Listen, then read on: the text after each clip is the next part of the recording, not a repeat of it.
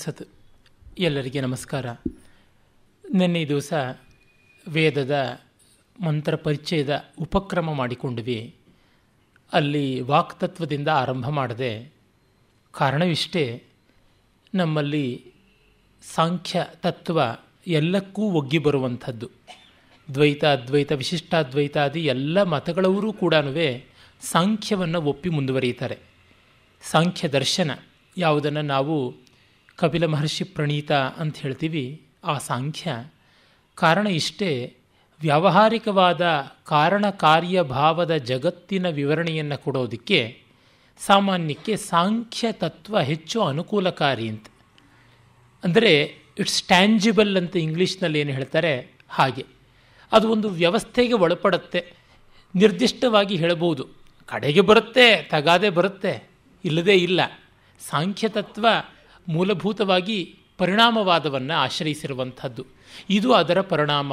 ಪರಿಣಾಮ ಅನ್ನೋದು causation theory ಅಂತೇವಲ್ಲ, ಕಾರ್ಯಕಾರಣ ಭಾವದ ಒಂದು this is cause and that is effect ಅಂತ ಆ ಒಂದು ದೃಷ್ಟಿಯಿಂದ ಬರುವಂಥದ್ದು.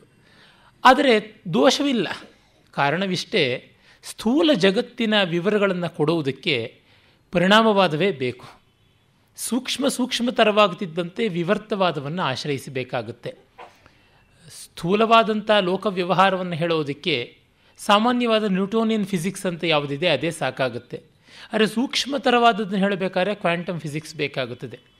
ಅಂದರೆ ಸಬ್ಬಟಾಮಿಕ್ ಲೆವೆಲ್ ಯಾವುದು ಅಣುವಿನ ಒಳಗೆ ಇರುವಂಥದ್ದು ಒಂದು ಸೂಕ್ಷ್ಮತರವಾದಂಥ ವ್ಯವಸ್ಥೆ, ಅದನ್ನು ವಿವರಿಸಿ ಹೇಳಬೇಕಾದರೆ ಸ್ಥೂಲವಾದದ್ದು ಆಗುವುದಿಲ್ಲ ಬಂಗಾರವನ್ನು ತೂಗುವ ತಕ್ಕಡೆಯ ಸೂಕ್ಷ್ಮತೆ ಸೌದೆ ಅಂಗಡಿಗೆ ಬೇಕಾಗಿಲ್ಲ ಅಂತ ಹಲವು ಬಾರಿ ಇದೇ ವೇದಿಕೆಯಲ್ಲಿ ನಾನು ಉದಾಹರಣೆ ಕೊಟ್ಟಿದ್ದುಂಟು. ಆ ರೀತಿಯಲ್ಲಿ ಸಾಂಖ್ಯ ದೃಷ್ಟಿಯ ಒಂದು ವ್ಯವಸ್ಥೆಯನ್ನು ಹೇಳುವಂತೆ ನೋಡಿದಾಗ ಪಂಚಜ್ಞಾನೇಂದ್ರಿಯಗಳು, ಪಂಚಕರ್ಮೇಂದ್ರಿಯಗಳು ಮತ್ತು ನಾಲ್ಕು ಅಂತರ್ ಇಂದ್ರಿಯದ ಭಾಗ ಅಂತ ಹೇಳುವಂಥ ಮನಸ್ಸಿನ ನಾಲ್ಕು ಭಾಗವಾಗಿ ಮನಸ್ಸು, ಬುದ್ಧಿ, ಚಿತ್ತ, ಅಹಂಕಾರ ಅಂತೀವಿ. ಆಮೇಲೆ ಈ ಎರಡೂ ಕಡೆ ಒಳಗೂ ಹೊರಗೂ ಓಡಾಡುವಂಥದ್ದು ವಾಕ್. ಅನ್ನುವಂಥದ್ದು ಬಾಹ್ಯಾಭ್ಯಂತರೇಂದ್ರಿಯ ಅಂತ ಕರೆಯಬಹುದು ಅಂದರೆ ವಾಕ್ಯನ ಪ್ರೇರಣೆ ಆಗುವುದು ಮನಸ್ಸಿನಿಂದ.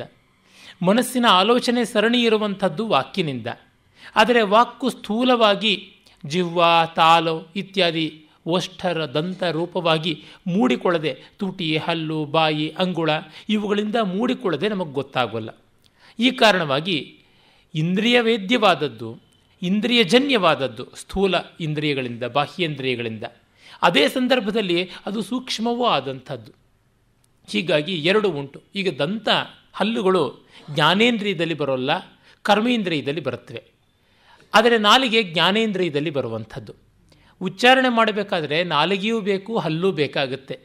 ತಾತ ದಾದಾನ ಹೇಳಬೇಕಾದ್ರೆ ದಂತ್ಯವರ್ಣಗಳ ಉಚ್ಚಾರಣೆಗೆ ದಂತ್ಯ ಅಂದರೆ ಹಲ್ಲಿನ ಜೊತೆಗೆ ನಾಲಿಗೆ ಸೇರಬೇಕಾದಂಥದ್ದು ಉಂಟು. ಹಾಗೆ ಚಾಚಾ ಜಾಜಾಂಗ್ಯ ಅಂತ ಹೇಳಬೇಕು ಅಂತಂದರೆ ತಾಲು. ಪ್ಯಾಲೆಟ್ ಅಂತೀವಲ್ಲ, ಬಾಯ ಅಂಗುಳ, ಅದು ಬೇಕಾಗುತ್ತದೆ.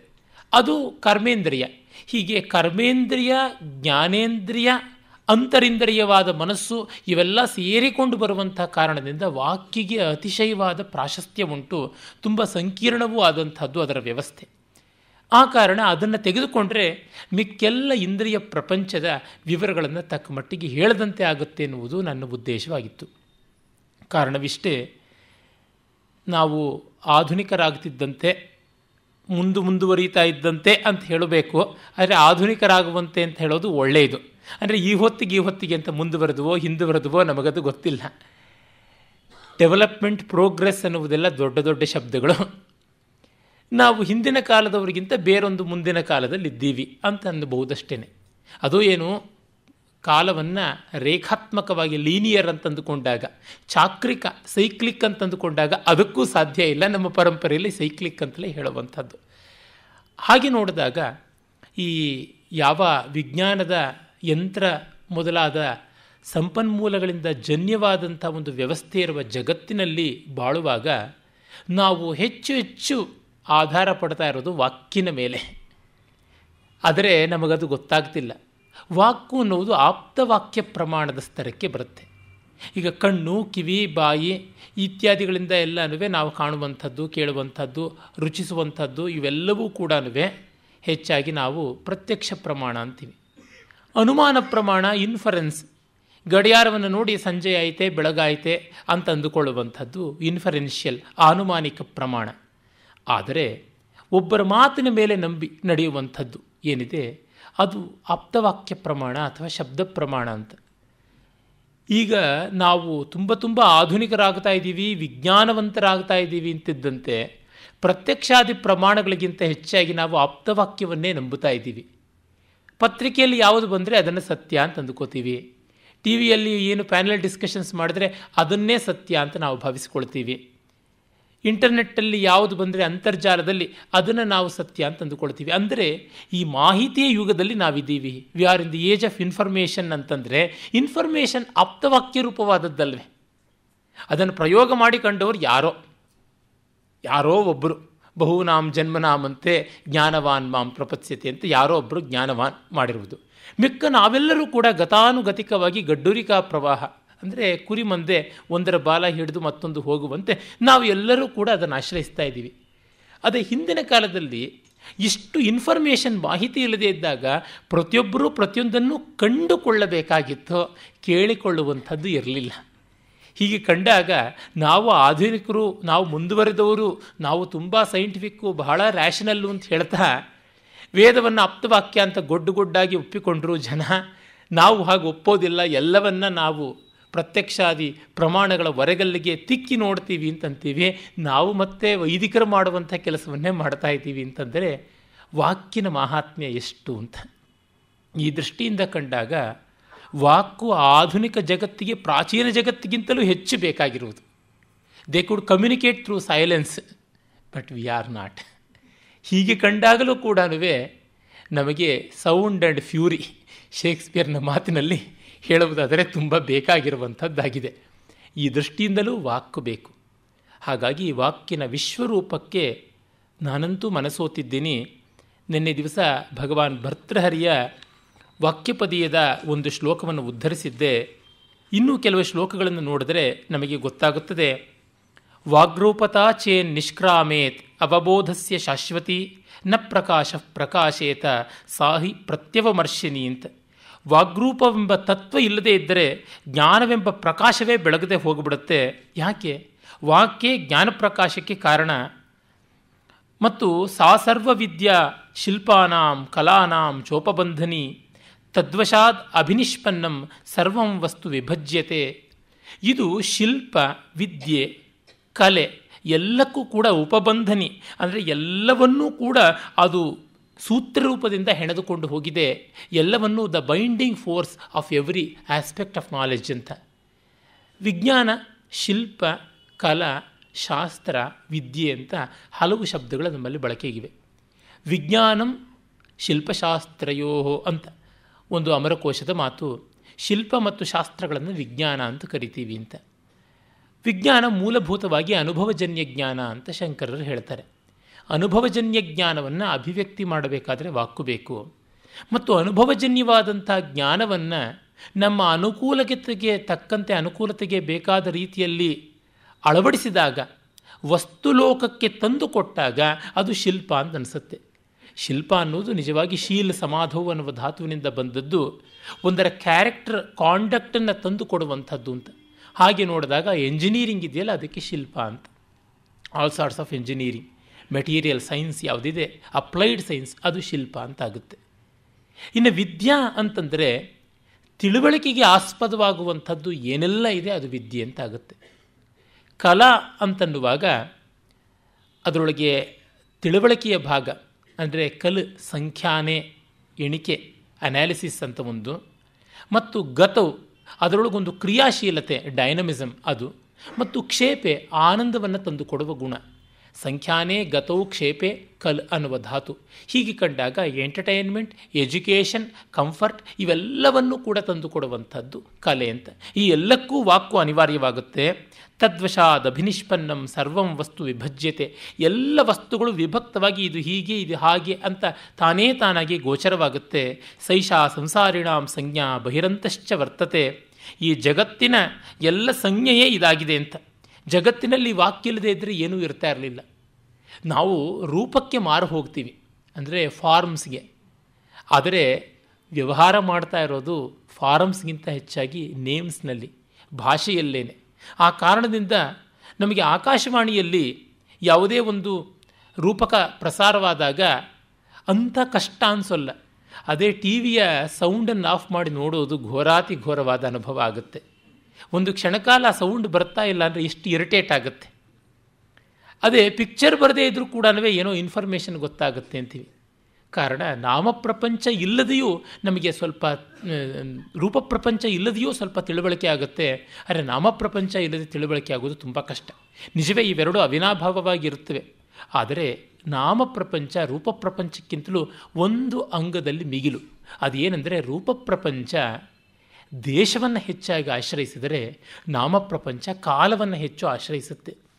ಈ ದೇಶ ಕಾಲಗಳ ಪೈಕಿ ಸ್ಪೇಸ್ ಆ್ಯಂಡ್ ಟೈಮ್ನಲ್ಲಿ ದೇಶವನ್ನು ಆಶ್ರಯಿಸಿಕೊಂಡು ಮಾಡುವಂಥ ಬೆಳವಣಿಗೆ ಕೆಲವೊಮ್ಮೆ ಪರಿಸರಕ್ಕೆ, ಲೋಕಕ್ಕೆ ಘಾತುಕವಾಗಬಹುದು. It may not be eco friendly environmental friendly ಆದರೆ ಕಾಲ ಪ್ರಪಂಚವನ್ನು ಆಶ್ರಯಿಸಿ ಮಾಡುವಂಥ ಚಿಂತನೆ ಹಾಗಾಗೋದಿಲ್ಲ. ಕಾರಣ ಕಾಲ ಭಾಷೆಯನ್ನು ಆಶ್ರಯಿಸುತ್ತೆ, ರೂಪ ವಸ್ತುವನ್ನು ಆಶ್ರಯಿಸುತ್ತೆ. We are experimenting with matter but here we are experimenting with thought ಈ ದೃಷ್ಟಿಯಿಂದ ಹೆಚ್ಚು ಹೆಚ್ಚು ಆಂತರಿಕವಾದದ್ದು. ಈ ಕಾರಣದಿಂದಲೇ ಪ್ರಾಚೀನ ಭಾರತೀಯರು ರೂಪಕ್ಕಿಂತ ನಾಮಕ್ಕೆ ಹೆಚ್ಚಿನ ಬೆಲೆಯನ್ನು ಕೊಟ್ಟರು ದೇಶಕ್ಕಿಂತ ಕಾಲಕ್ಕೆ ಹೆಚ್ಚಿನ ಬೆಲೆಯನ್ನು ಕೊಟ್ಟರು ಆ ಕಾರಣದಿಂದಲೇ ನಾವು ಕಾಲಾತೀತವಾಗಬೇಕು ಅನ್ನುವುದನ್ನು ಹೆಚ್ಚೆಚ್ಚು ಒತ್ತಿ ಹೇಳಿದಷ್ಟು ದೇಶಾತೀತವಾಗಬೇಕು ಅನ್ನೋದು ಹೇಳಿಲ್ಲ. ನಿಜವೇ, ಎರಡೂ ಉಂಟು. ವಿಷ್ಣು ಅನ್ನುವಲ್ಲಿ ವ್ಯಾಪ್ನೋತೀತಿ ವಿಷ್ಣು ಅನ್ನುವಲ್ಲಿ ದೇಶಪ್ರಜ್ಞೆಯು, ಮಹಾಕಾಲ ಕಾಲಕಾಲ ಅನ್ನುವಲ್ಲಿ ಕಾಲಪ್ರಜ್ಞೆಯು ಕಾಣಿಸುತ್ತೆ ಶಿವಕೇಶವರಲ್ಲಿ. ಆದರೆ ಈ ಕಾಲಸ್ವರೂಪಕ್ಕೆ ನಮ್ಮಲ್ಲಿ ಮೊದಲಿಂದಲೂ ಹೆಚ್ಚಿನ ಬೆಲೆ, ಅದಕ್ಕಾಗಿ ಕಾಲದ ಬಗೆಗೆ ತುಂಬ ವಿಶೇಷವಾದ ಮಂತ್ರಗಳು ಕೂಡ ಉಂಟು. ಅಥರ್ವವೇದದಲ್ಲಿ ತುಂಬ ಚೆನ್ನಾಗಿ ಅದು ಗೋಚರವಾಗುತ್ತೆ. ಇರಲಿ. ತನ್ಮಾತ್ರ ಮನತಿಕ್ರಾಂತಂ ಚೈತನ್ಯಂ ಸರ್ವಜಂತುಷು ಇದನ್ನು ಅನುಸರಿಸಿಯೇ ಜಗತ್ತಿನ ಎಲ್ಲ ಜೀವಿಗಳ ಚೈತನ್ಯ ಕೂಡ ಇದೆ. ವಾಕು ತನ್ನತನವನ್ನು ಮೀರದೆ ತಾನಾಗಿಯೇ ಉಳಿದ ಚೈತನ್ಯ ಅಂತ. ಅಂದರೆ ಅದು ತಾನಾಗಿ ಇನ್ನು ಮಿಕ್ಕಿದ್ದನ್ನೆಲ್ಲವನ್ನು ಬೆಳಗುತ್ತಾ ಇದೆ. ಪ್ರವಿಭಾಗೆ ಯಥಾ ಕರ್ತ ತಯಾ ಕಾರ್ಯೇ ಪ್ರವರ್ತತೆ, ಅವಿಭಾಗೆ ತಥಾ ಸೈವ ಕಾರ್ಯತ್ವೇನ ವಿವರ್ತತೆ. ಅದು ಯಾವ ಒಂದು ವ್ಯವಸ್ಥೆಯಲ್ಲಿ ಇರುತ್ತೆ ಅಂತಂದರೆ ಎಚ್ಚರದ ಸ್ಥಿತಿಯಲ್ಲಿ ಕರ್ತೃವು ವಾಕ್ಯನ ನೆರವಿಂದ ಹೇಗೆ ಕಾರ್ಯಶೀಲನಾಗ್ತಾನೋ ಹಾಗೆ ಕನಸಿನ ಸ್ಥಿತಿಯಲ್ಲಿ ಕೂಡ ವಾಕ್ಯನಿಂದಲೇ ಸಕಲವನ್ನು ರೂಪಿಸಿಕೊಳ್ತಾ ಇದ್ದಾನೆ ಅಂತ. ನಮಗೆ ಕನಸಿನಲ್ಲಿ ವಾಗಿಂದ್ರಿಯವೇ ಎಲ್ಲವನ್ನ ಮಾಡ್ತಾ ಇರುತ್ತೆ, ಮನಸ್ಸಿನ ಮೂಲಕವಾಗಿ ವಾಕ್ಯ ಪ್ರಸೃತವಾಗಿ ಎಲ್ಲವನ್ನ ಮಾಡ್ತಾ ಇರುತ್ತೆ. Thought is one form of walk. ಏನು? ಮಾತು ವ್ಯಕ್ತವಾದಾಗ ಧ್ವನಿ ರೂಪ ಬರುತ್ತೆ ಅವ್ಯಕ್ತವಾದಾಗ ಆಲೋಚನೆಯ ರೂಪವನ್ನು ಪಡ್ಕೊಳ್ಳುತ್ತೆ. Silent speech is thought loud thought is speech ಇದು ಬಿಟ್ಟು ಇನ್ನೇನಿರುವಂಥದ್ದು ಹೀಗೆ ಕಂಡಾಗಲೂ ಗೊತ್ತಾಗುತ್ತೆ. ಸ್ವಮಾತ್ರ, ಪರಮಾತ್ರ ವಾ ಶ್ರುತ್ಯ ಪ್ರಕ್ರಮ್ಯತೆ ಯಥಾ ತಥೈವ ರೂಢತಾಮೇತಿ ತಯಾ ಹ್ಯರ್ಥೋ ವಿಧೀಯತೆ. ಆ ಕಾರಣದಿಂದ ಜಗತ್ತು ಸ್ವಸ್ವರೂಪ ಅಂತಾಗಲಿ, ಪರಸ್ವರೂಪ ಅಂತಾಗಲಿ, ಯಾವುದನ್ನು ಕೂಡ ವಾಕ್ಯನಿಂದಲೇ ತೋರಿಸುತ್ತೆ. ವಾಕ್ಯೇ ಸರ್ವಸ್ವ ಅನ್ನುವಂಥದ್ದು ನಮ್ಮ ಭಾರತೀಯ ಪರಂಪರೆಯ ಒಂದು ನಿರ್ಧಾರ. ಇದು ವಿಶ್ವದಲ್ಲಿ ಕೂಡ ಅಂಗೀಕಾರ್ಯವಾದದ್ದು. ಈಚೆಗೆ ನಾವು ಶಾಮ್ಸ್ಕಿ ಮೊದಲಾದವರು ಕೂಡ ವಾಕು ಅನ್ನೋದು ಇನ್ಬಿಲ್ಟ್ ಮೆಕ್ಯಾನಿಸಮ್ ಹೊರತು ಹೊರಗಿಂದ ಅಲ್ಲ ಅಂತ ಹೇಳ್ತಾ ಇದ್ದಾರೆ. ಈ ಹಿನ್ನೆಲೆಯಲ್ಲಿ ವಾಕ್ತತ್ವದ ಸೂಕ್ತದ ಇನ್ನೊಂದೆರಡು ಮಂತ್ರಗಳನ್ನು ನಾವು ನೋಡೋಣ. ಯಜ್ಞೇನ ವಾಚ ಪದವಿ. ಪದವೀಯಂ ಆಯಂತಾಂ ಅನ್ವವಿಂದನ್ ಋಷಿಷು ಪ್ರವಿಷ್ಟಾಂ ತಾಮಾಭೃತ್ಯ ವ್ಯದದು ಪುರುತ್ರ ತಾಂ ಸಪ್ತರೇಖಾ ಅಭಿಸನ್ನವಂತೆ ಈ ವಾಕ್ತತ್ವವನ್ನು ಅರ್ಥ ಮಾಡಿಕೊಳ್ಳೋದಕ್ಕೆ ವಾಚಃ ಪದವೀಯಂ ಅಂದರೆ ಮಾರ್ಗ ಪದವಿ ಅಂದರೆ ದಾರಿ ಅದನ್ನು ಯಜ್ಞೇನ ಯಜ್ಞದ ಮೂಲಕವಾಗಿ ಆಯನ್ ವಿವೇಕಿಗಳು ತಿಳ್ಕೊಂಡ್ರು ಋಷಿಗಳಲ್ಲಿ ಪ್ರವಿಷ್ಟಾಂ ಸ್ಥಾಪಿತವಾದಂಥ ವಾಕ್ತತ್ವವನ್ನು ಅನ್ವವಿಂದನ್ ಪಡ್ಕೊಂಡ್ರು ಅದನ್ನು ಆ ಭೃತ್ಯ ಚೆನ್ನಾಗಿ ಸಂಗ್ರಹಿಸಿ ಪುರುತ್ರ ಅಂದರೆ ಅನೇಕ ಸಂಗ್ರಹ ಮಾಡಿಕೊಂಡಂಥ ಎಡೆಗಳಲ್ಲಿ ವ್ಯದಧು ವಿಭಾಗ ಮಾಡಿದ್ರು. ಅದನ್ನು ರೇಭಾಸಪ್ತ ಏಳು ಧ್ವನಿಗಳಾಗಿ ಅಂದರೆ ಗಾಯತ್ರಿ, ಪಂಕ್ತಿ ಅನುಷ್ಟುಪ್ ಬೃಹತಿ ತ್ರಿಷ್ಟುಪ್ ಜಗತಿ ಅಂತ ಏಳು ಛಂದಸ್ಸುಗಳಿವೆಯಲ್ಲ ಆ ರೀತಿಯಾಗಿ ಮಾಡಿಕೊಂಡ್ರು ಅಂತ. ಅಂದರೆ ವಾಕ್ಯನ ರಹಸ್ಯವನ್ನು ಅರಿಯುವ ದಾರಿಯನ್ನು ಯಜ್ಞದ ಮೂಲಕ ಜ್ಞಾನಿಗಳು ತಿಳ್ಕೊಂಡ್ರು ಮತ್ತು ಅದನ್ನು ಏಳು ಬಗೆಯಾಗಿ ವಿಭಾಗ ಮಾಡಿದ್ರು. ವೇದದಲ್ಲಿ ಪ್ರಧಾನವಾಗಿ ಬರುವಂಥವು ಈ ಏಳು ಛಂದಸ್ಸುಗಳು. ಸೂರ್ಯನ ಸಪ್ತ ರಶ್ಮಿಗಳಿಗೆ ಸಂಕೇತವಾಗಿರುವಂಥವು, ಸಪ್ತ ಊರ್ಧ್ವಲೋಕಗಳಿಗೆ ಸಂಕೇತವಾಗಿ ಇರುವಂಥವು ಅಂತ. ಛಂದಸ್ಸು ಮುಚ್ಚುತ್ತೆ, ಕಾಪಾಡುತ್ತೆ ಅಂತ. ಚದಿರ ಆಚ್ಛಾದನೆ, ಊರ್ಜಾಯಾಮ್, ಆಹ್ಲಾದನೆ ಅಂತೆಲ್ಲ ಧಾತುಪಾಠ ಉಂಟು. ಆವರಿಸುತ್ತೆ, ಶಕ್ತಿಯನ್ನು ತಂದುಕೊಡುತ್ತೆ, ಸಂತೋಷವನ್ನು ತಂದುಕೊಡುತ್ತೆ ಅಂತ. ಹೀಗೆ ವಾಕ್ಯನ ಆವರಣ ರೂಪವನ್ನು, ಅಂದರೆ ಯಾವುದೇ ಒಂದು ಡೊಂಕು, ಲೋಪ, ದೋಷ ಇದ್ದರೆ ಅದನ್ನು ಮುಚ್ಚುತ್ತೆ. ನಾವು ಮಾಡುವಂಥದ್ದು ಸಾಮಾನ್ಯ ಅಲ್ಪ ಸ್ವಲ್ಪ ಇದ್ದರೂ ಕೂಡ ಏನೋ ಬಡವರ ಮನೆ ಆತಿಥ್ಯ ನೋಡಿ ತಾವು ಸೇರಿಸಿಕೊಳ್ಳಬೇಕಾದದ್ದು ಅಂತೆಲ್ಲ ಅಂದರೆ ಎಷ್ಟು ಒಳ್ಳೆ ಸೌಜನ್ಯದ ಮಾತಾಡಿದ್ರು. ನಿಮ್ಮ ಊಟದ ಜೊತೆಗೆ ಮಾತಿನ ಉಪ್ಪಿನಕಾಯಿಯ ರುಚಿಯಾಗಿದೆ ಅಂತ ಹೇಳ್ಕೊಂಡು ನಾವು ತಿನ್ನೋದಿಲ್ವೇ ಗಂಜಿಯೋ, ಅಂಬಲಿಯೋ ಯಾವುದಾದ್ರೂ ಕೂಡ ಹಾಗಾಗಿ ಎಲ್ಲ ಕೊರತೆಯನ್ನು ಮುಚ್ಚುವಂಥದ್ದು ಮಾತಿನಲ್ಲಿ ಉಂಟು. ನಾವಲ್ಲಿ ಇಡುವಂಥದ್ದು ಮಣ್ಣಿನ ಗಣಪತಿಯನ್ನೇ. ಆದರೆ ಸುವರ್ಣ ನಿರ್ಮಿತಾಂ ಗಣಪತಿ ಪ್ರತಿಮಾಂ ಪೂಜೆಯಾಮಿ ಅಂತಲೇ ಅಂದುಕೊಂಡು ಪೂಜೆ ಮಾಡುವಂಥದ್ದು. ಅಲ್ಲಿಡುವುದು ನಾಲ್ಕಾಣೆನೇ, ಅದು ಸುವರ್ಣ ದಕ್ಷಿಣ ಅಂತಲೇ ಹೇಳುವಂಥದ್ದಾಗಿದೆ. ಅಲ್ಲಿ ಒಂದೇ ಬತ್ತಿ ಇಟ್ಟರೂ ಕೂಡ ಎಂಥದ್ದು ಘೃತವರ್ತಿ ಸಹಸ್ರೈಶ್ಚ ಕರ್ಪೂರ ಶಕಲೈಸ್ತಥ ಅಂತ ಹೇಳ್ಬಿಟ್ಟಿದ್ರು ಸಾವಿರಾರು ತುಪ್ಪದ ಬತ್ತಿಗಳನ್ನು ಅದ್ದಿದ್ದೀನಿ ನಿಂತ ವಚನೇಕ ದರಿದ್ರತ ಸೇರಿಸಿ ಬಿಡೋಣ ಅಂತನ್ನುವಲ್ಲಿ ಹಾಗೆ ಕಾಣಿಸುತ್ತೆ. ಮತ್ತು ಅದು ಆವರಣ ಮಾಡಿಕೊಡುವುದು. ಮತ್ತು ಆನಂದವನ್ನು ತಂದುಕೊಡುತ್ತೆ. ಅದು ನಮ್ಮ ಸ್ವರೂಪವೇ ಆದ ಕಾರಣ ಅದರ ಮೂಲಕ ನಮಗೆ ಆನಂದ. ಜೊತೆಗೆ ಅದೊಂದು ಶಕ್ತಿಯನ್ನು ಕೊಡುತ್ತೆ, ಪುಷ್ಟಿಯನ್ನು ಕೊಡುತ್ತೆ. ಒಳ್ಳೆಯ ಉತ್ತೇಜಕಾರಿಯಾದ ಮಾತುಗಳು, ಒಳ್ಳೆಯ ಧ್ವನಿಗಳು ನಮಗೆ ಎಷ್ಟು ಉತ್ಕರ್ಷವನ್ನು ಕೊಡುತ್ತವೆ. ಒಂದು ಸಂಗೀತದ ರಾಗವನ್ನೇ ತೆಗೆದುಕೊಳ್ಳಿ. ಹೇಗೆ? ಇಂದ್ರನಿಗೆ ಸಂತೋಷವಾಗಬೇಕು ಅಂದರೆ ಸಾಮವನ್ನು ಹೆಚ್ಚಾಗಿ ಹಾಡಬೇಕು ಅಂತಾನೆ. ದೇವತಾ ಸ್ವರೂಪ ತೀರ ಸ್ಥೂಲವಾಗಿರೋಲ್ಲ, ತುಂಬ ತುಂಬ ಸೂಕ್ಷ್ಮವಾಗಿರುತ್ತೆ. ಆ ಮಂತ್ರವನ್ನು ಸುಮ್ಮನೆ ರುಕ್ಕನ್ನು ಹೇಳಿಬಿಟ್ರೆ ಆ ದೇವತಾ ಸ್ವರೂಪ ಸ್ಫುಟವಾಗೋದಿಲ್ಲ. ಅದನ್ನು ಉಬ್ಬಿಸಬೇಕು ಅಂದರೆ ಹಾಡು ಹೇಳಬೇಕು ಅಂತ ಬ್ಲೋಯಿಂಗ್ ಅಪ್. ಅದನ್ನು ಬ್ಲೋ ಅಪ್ ಮಾಡಬೇಕು ಅಂತಂದರೆ ಸಾಮದಲ್ಲಿ ಹಾಡಿ ವಿಸ್ತಾರ ಮಾಡಬೇಕು ಅಂತ. ಆವಾಗದು ಸ್ಥೂಲವಾಗುತ್ತೆ. ಆಗ ನಮ್ಮ ಅಂತಃಕರಣವನ್ನು ಅದಕ್ಕೆ ಧಾರೆ ಎರಿಬೇಕು. ಆಗ ಅದು ಕಣ್ಣು ಕಿವಿ ಎಲ್ಲ ತೆರೆಕೊಂಡು ಮಾತಾಡುತ್ತೆ ಅಂತ. ಅಂದರೆ ನಮ್ಮೊಳಗಿರುವ ದೇವತೆಯನ್ನು ನಾವು ಆವಾಹನೆ ಮಾಡಿ ಮಾಡ್ತಾ ಇದ್ದೀವಿ ಅಂತ. ಈ ಕಾರಣದಿಂದ ವಾಕಿಗೆ ಮಹಾತ್ಮ್ಯ ಉಂಟು ಅಂತ. ಉತತ್ವ ಪಶ್ಯನ್ನ ದದರ್ಶವಾಚ ಮುತತ್ವ ಶೃಣ್ವನ್ನ ಶೃಣೋತ್ಯೇನಾಂ ನಾಂಬುತೋ ತಸ್ಮೈ ತನ್ವಂ ವಿಸಸ್ರೇ ಜಾಯೇವ ಪತ್ಯ. ಉಷತಿ ಸುವಾಸಾಹ. ಇದು ಬಹಳ ಪ್ರಸಿದ್ಧವಾದ ಮಂತ್ರವಾಗಿ ಎಷ್ಟೋ ಕಡೆ ಕೋಟಾಗುವಂಥದ್ದು ಉತ ಅಂದರೆ ಇವನ್ ದೆನ್ ಅನ್ನುವಂಥ ಅರ್ಥ. ಇದು ಒಂದು ನಿಪಾತ. ಒಬ್ಬ ಪಶ್ಯನ್ನುತ ನೋಡ್ತಾ ಇದ್ದರೂ ಕೂಡ ವಾಚಂ ವಾಕ್ತತ್ವವನ್ನು ನ ದದರ್ಶ ಅದನ್ನು ನೋಡ್ತಾ ಇದ್ದರೂ ಕೂಡ ಕಾಣಲಿಲ್ಲ. ಹಾಗೆ ಉತತ್ವ ಶೃಣ್ವನ್ ಕೇಳ್ತಾ ಇದ್ದರೂ ಕೂಡ ಅವನು ಮತ್ತೆ ಕೇಳೋದಕ್ಕಾಗಲಿಲ್ಲ. ನ ಶೃಣೋತಿ. ಯಾಕೆ ಅವನು ನೋಡಿದ್ರೂ ನೋಡಲಿಲ್ಲ, ಕೇಳಿದ್ರೂ ಕೇಳಲಿಲ್ಲ ಮಾತನ್ನು, ಮಾತು ಅರ್ಥವಾಗಲಿಲ್ಲ.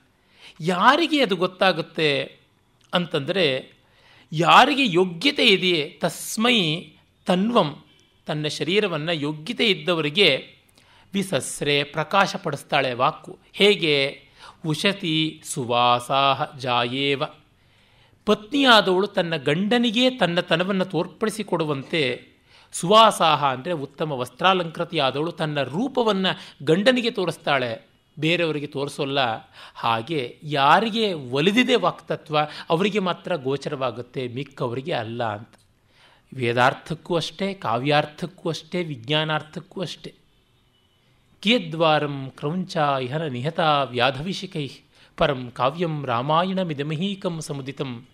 ಸಕರ್ತ ಕಾಲಸ್ಸ ಸಚ ಹೃದಯವಾನ್ ಸಾಚ ಕವಿತ ಸಮೇತ್ಯ ದ್ಯೋತಂತೆ ಯದಿ ವಲತಿ ವಾಣಿ ವಿಲಸಿತಂ ಅಂತ ಒಬ್ಬರು ಜಗನ್ನಾಥ್ ಪಾಠಕ್ ಅಂತ ಬಿಹಾರದ ಕವಿ ಒಬ್ಬರ ಪದ್ಯ ಇದು. ಎಷ್ಟು ಬಾರಿ ಜಗತ್ತಿನಲ್ಲಿ ಕ್ರೌಂಚ ಪಕ್ಷಿಗಳನ್ನು ಬೇಡರು ಸಾಯಿಸಿದ್ದನ್ನು ನಾವು ನೋಡಿಲ್ಲ. ಅರೆ ಅದು ಎಷ್ಟು ಬಾರಿ ರಾಮಾಯಣ ಹುಟ್ಟಿತು. ಪರಂ ಕಾವ್ಯಂ ರಾಮಾಯಣಂ ಇದಮಿಹೈಕಂ ಸಮುದಿತಂ. ಆ ಕಾಲ, ಆ ಕರ್ತೃ, ಆ ಹೃದಯವಂತ ಆ ಕಾರುಣ್ಯ, ಆ ಸರಸ್ವತಿಯ ವಿಲಾಸ ಇವು ಸೇರಿದಾಗ ಮಾತ್ರ ಅಂತ. ಅದೇ ತಾನೇ, ಸೇಬಲ್ಲ ಆಕಾಶವೇ ತಲೆಗೆ ಬಿದ್ದರೂ ಮರವೇ ತಲೆ ಮೇಲೆ ಬಿದ್ದರೂ ನಮಗೆ ಗುರುತ್ವಾಕರ್ಷಣದ ತತ್ವ ಗೊತ್ತಾಗುವಂಥದ್ದಲ್ಲ. ಹಾವು ಬಾಲ ಕಚ್ಚಿಕೊಂಡು ನುಂಗುತ್ತಾ ಇತ್ತಂತೆ. ಇದೇನು ಜಗತ್ತೇ ಒಂದರಿಂದೇ ಒಂದು ಮತ್ತೊಂದು ನುಂಗಿಕೊಳ್ತಾ ಇದೆ, ತನ್ನನ್ನು ತಾನೇ ನುಂಗುತ್ತಾ ಇದೆ. ಆದರೂ ಕೆಕ್ಯುಲೆಗೆ ಗೊತ್ತಾದಂತೆ ಆ ಒಂದು ರಿಂಗ್ ಸ್ಟ್ರಕ್ಚರ್ ಆಫ್ ಬೆನ್ಸಿನ್ ನಮಗೆ ಯಾಕೆ ಗೊತ್ತಾಗಲಿಲ್ಲ. ಎಷ್ಟು ಕಡೆ ಆ ಥರದ್ದು? ನಿಮಗೆ ಕಾಣುವಂಥದ್ದೇ. ಚರ್ಚಿನಲ್ಲಿ ಒಂದು ತೂಗು ದೀಪ ಓಲಾಡ್ತಾ ಇದ್ದಿದ್ದನ್ನು ನೋಡಿಬಿಟ್ಟು ಗೆಲಿಲಿಯೋಗೆ ತತ್ಕ್ಷಣವೇ ಗೊತ್ತಾಯಿತು ಪೆಂಡುಲಮ್ ತತ್ವ ಅನ್ನೋದು ಏನು ಅಂತ. ಹೀಗೆ ಯಾವ ಯಾವ ವಿಜ್ಞಾನಿಗಳಿಗಾಗಲಿ, ಯಾವ ಕವಿಗಳಿಗಾಗಲಿ ಒಂದೊಂದು ವಿಶೇಷ ಸಂದರ್ಭದಲ್ಲಿ ಸ್ಫುರಣೆ ಆಗುತ್ತೆ. ನಮಗೆ ಆಗೋಲ್ಲ. ಅದೇ ಯಾರಿಗೆ ಅದು ಒಲಿದಿದೆಯೋ ಅವರಿಗೆ ಅದು ಬಿಟ್ಟುಕೊಡುತ್ತೆ ಅಂತ. ಆ ಕಾರಣದಿಂದಲೇ ವೇದಾರ್ಥಕ್ಕೆ ಇಷ್ಟೇ ಅಂತನ್ನುವ ಅವಧಿ ಮಾಡಿಕೊಳ್ಳೋದಕ್ಕೆ ಸಾಧ್ಯ ಇಲ್ಲ. ಆದರೆ ನಮಗೆ ತೋರಿದಂತೆಲ್ಲ ಹೇಳ್ಬೋದಾ? ಹೇಳ್ಬೋದು, ಆದರೆ ಜನ ಒಪ್ಪೋದಿಲ್ಲ. ಕಾರಣ, ಇಂಥ ಅಜ್ಞಾನಿಗೂ ಕೂಡ ಅಂತರಂಗದಲ್ಲಿ ಯಾವುದೋ ಒಂದು ಅರ್ಥ ಇರುತ್ತೆ. ನಮಗೆ ಕೆಲವೊಮ್ಮೆ ಕೆಲವರು ಕಾವ್ಯಗಳಿಗೆ ವಿಕೃತವಾಗಿ ಎಲ್ಲಿಂದಲೋ ಎಳೆದೆಳೆದು ಅರ್ಥ ಮಾಡ್ತಾ ಇದ್ದರೆ ಗೊತ್ತಾಗ್ಬಿಡುತ್ತೆ. ನಮಗೆ ಅವರಷ್ಟು ಪುಸ್ತಕ ಪಾಂಡಿತ್ಯ ಇಲ್ಲದೇ ಇದ್ದಿರಬಹುದು, ಮಸ್ತಕ ಪಾಂಡಿತ್ಯ ಇಲ್ಲದೇ ಇರಬಹುದು. ಆದರೂ ಇವ್ರು ಮಾಡೋದು ಯಾತಕ್ಕೋ ಓವರ್ ಸ್ಟ್ರೆಚ್ಡ್ ಅಂತ ಸ್ಟ್ರೈನ್ಡ್ ಅಂತ ಫಾರ್ ಫೆಚ್ಡ್ ಅಂತ, ದೂರಾಕೃಷ್ಟ, ಬಲಾದಾಕೃಷ್ಟ ಅಂತ ಅನ್ನಿಸ್ತಾ ಇರುತ್ತೆ. ಅವ್ರ ಹತ್ರ ವಾದ ಮಾಡೋಕ್ಕಾಗಲ್ಲ, ನಮಗೆ ಒಪ್ಕೊಳ್ಳೋಕೆ ಮಾತ್ರ ಆಗೋದಿಲ್ಲ. ಅಲ್ಲಿಗೆ ಆಯ್ತಲ್ಲ, ಬಿದ್ದು ಹೋಯ್ತಲ್ಲ. ಯಾಕೆ ಅಂದರೆ ನಮ್ಮೊಳಗಿರುವಂಥ ಅರ್ಥ, ನಿಹಿತಂ ಗುಹಾಯಾಮ್ ಹೀಗಾಗಿ ಆ ವಾಕ್ತತ್ವವನ್ನು ಒಲಿಸಿಕೊಳ್ಳಬೇಕು ಅಂದರೆ ಆರಾಧನೆ. ಅದು ಬಿಟ್ಟರೆ ಇನ್ಯಾವುದೂ ಇಲ್ಲ.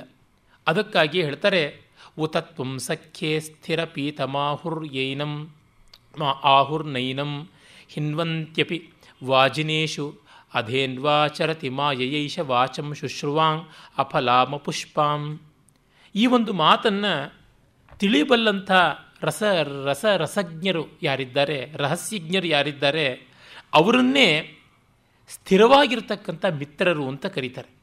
ವಾಕ್ತತ್ವವನ್ನು ಚೆನ್ನಾಗಿ ಬಲ್ಲಂಥವರು ಮಿತ್ರರು.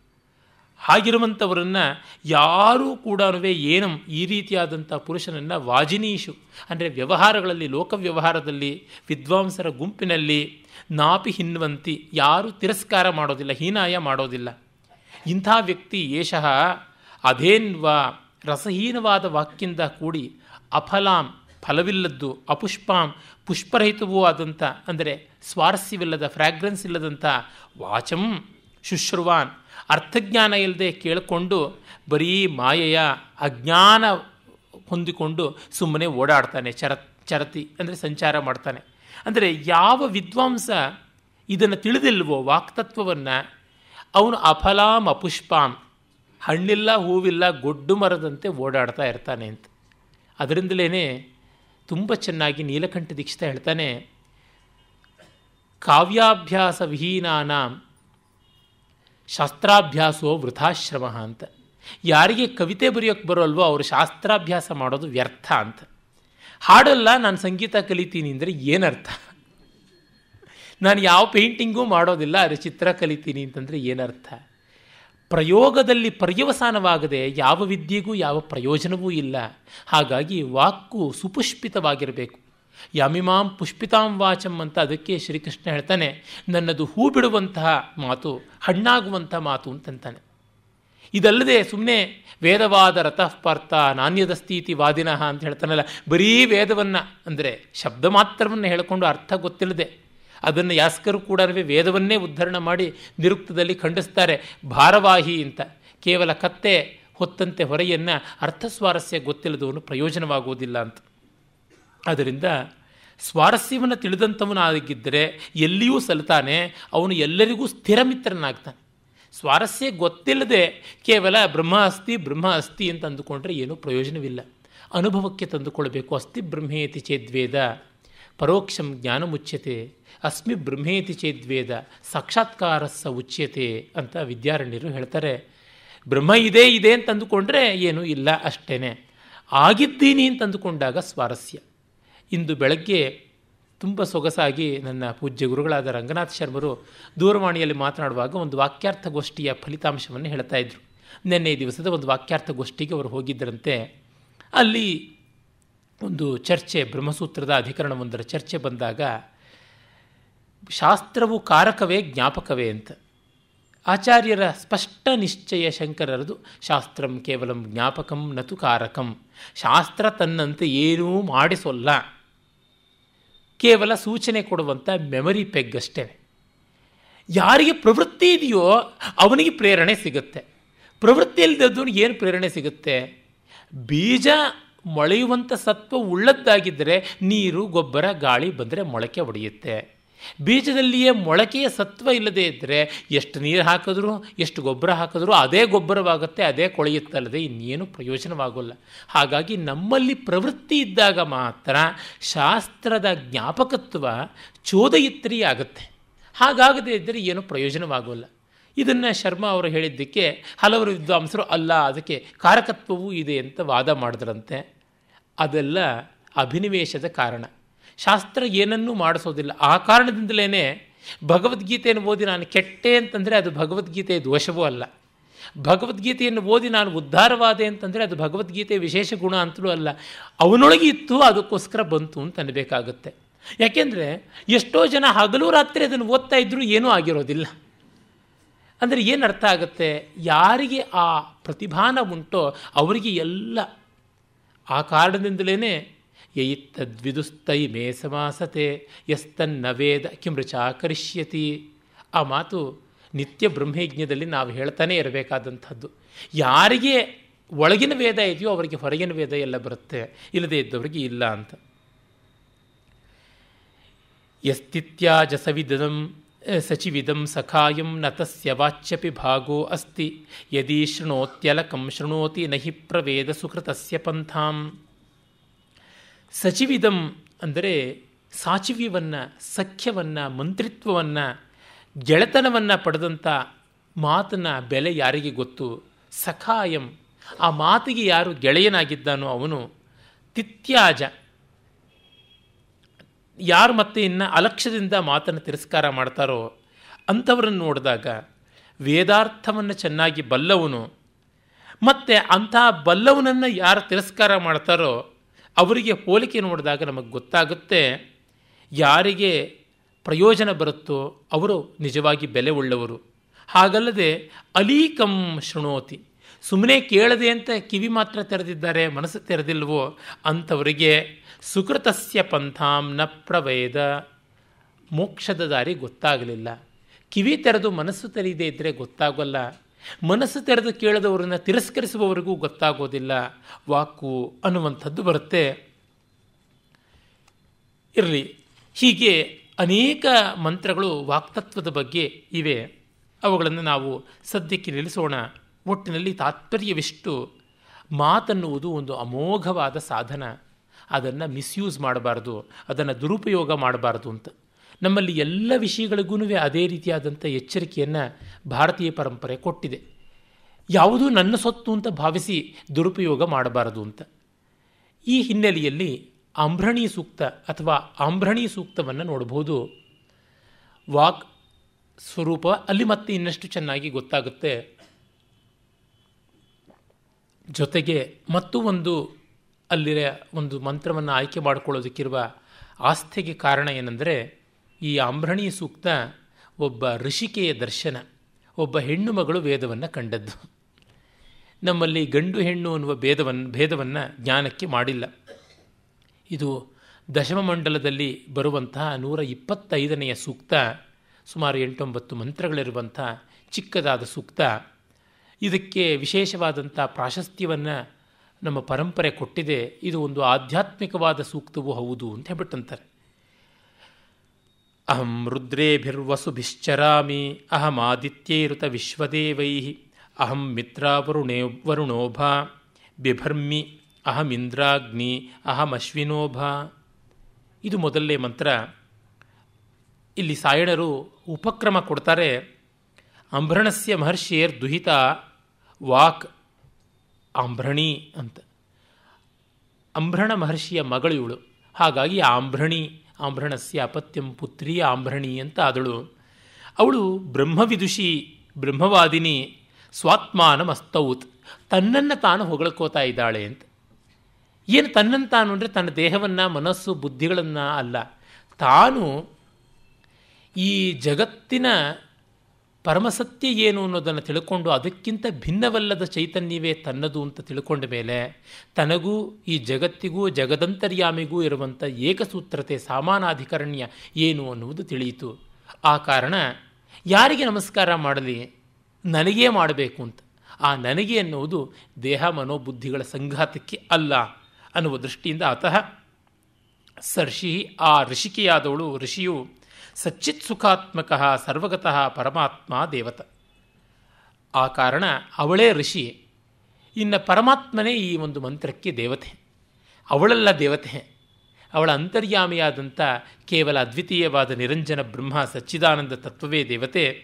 ತೇನ ಹ್ಯೇಷ ತಾದಾತ್ಮ್ಯಂ ಅನುಭವಂತಿ. ಸರ್ವ ಜಗದ್ರೂಪೇಣ ಸರ್ವಸ್ಯ ಅಧಿಷ್ಠಾನತ್ವೇನ ಚ ಅಹಮೇವ ಸರ್ವಂ ಭವಾಮೀತಿ ಸ್ವಾತ್ಮಾನಂ ಸ್ತೌತಿ ತನ್ನನ್ನು ತಾನು ರಿಯಲೈಸ್ ಮಾಡಿಕೊಳ್ಳುವಂಥದ್ದು. ಜಗತ್ತು ಯಾರನ್ನ ಬಾದರ್ ಮಾಡಲ್ವೋ, ಅವರು ನಿಷ್ಪ್ರಯೋಜಕರು. ಆದರೆ ಯಾರು ಜಗತ್ತನ್ನು ಬಾದರ್ ಮಾಡಲ್ವೋ, ಅವರು ಪ್ರಯೋಜನಾತೀತರು. ಜಗತ್ತು ಯಾರನ್ನ ಬಾದರ್ ಮಾಡೋದಿಲ್ಲ, ಯಾವ ರೀತಿಯಾದ ಯೋಗ್ಯತೆ ಇಲ್ಲದೆ ಇದ್ದವರನ್ನು ಪ್ರಪಂಚ ಇಗ್ನೋರ್ ಮಾಡುತ್ತೆ, ತಿರಸ್ಕರಿಸುತ್ತೆ, ಉಪೇಕ್ಷಿಸುತ್ತೆ.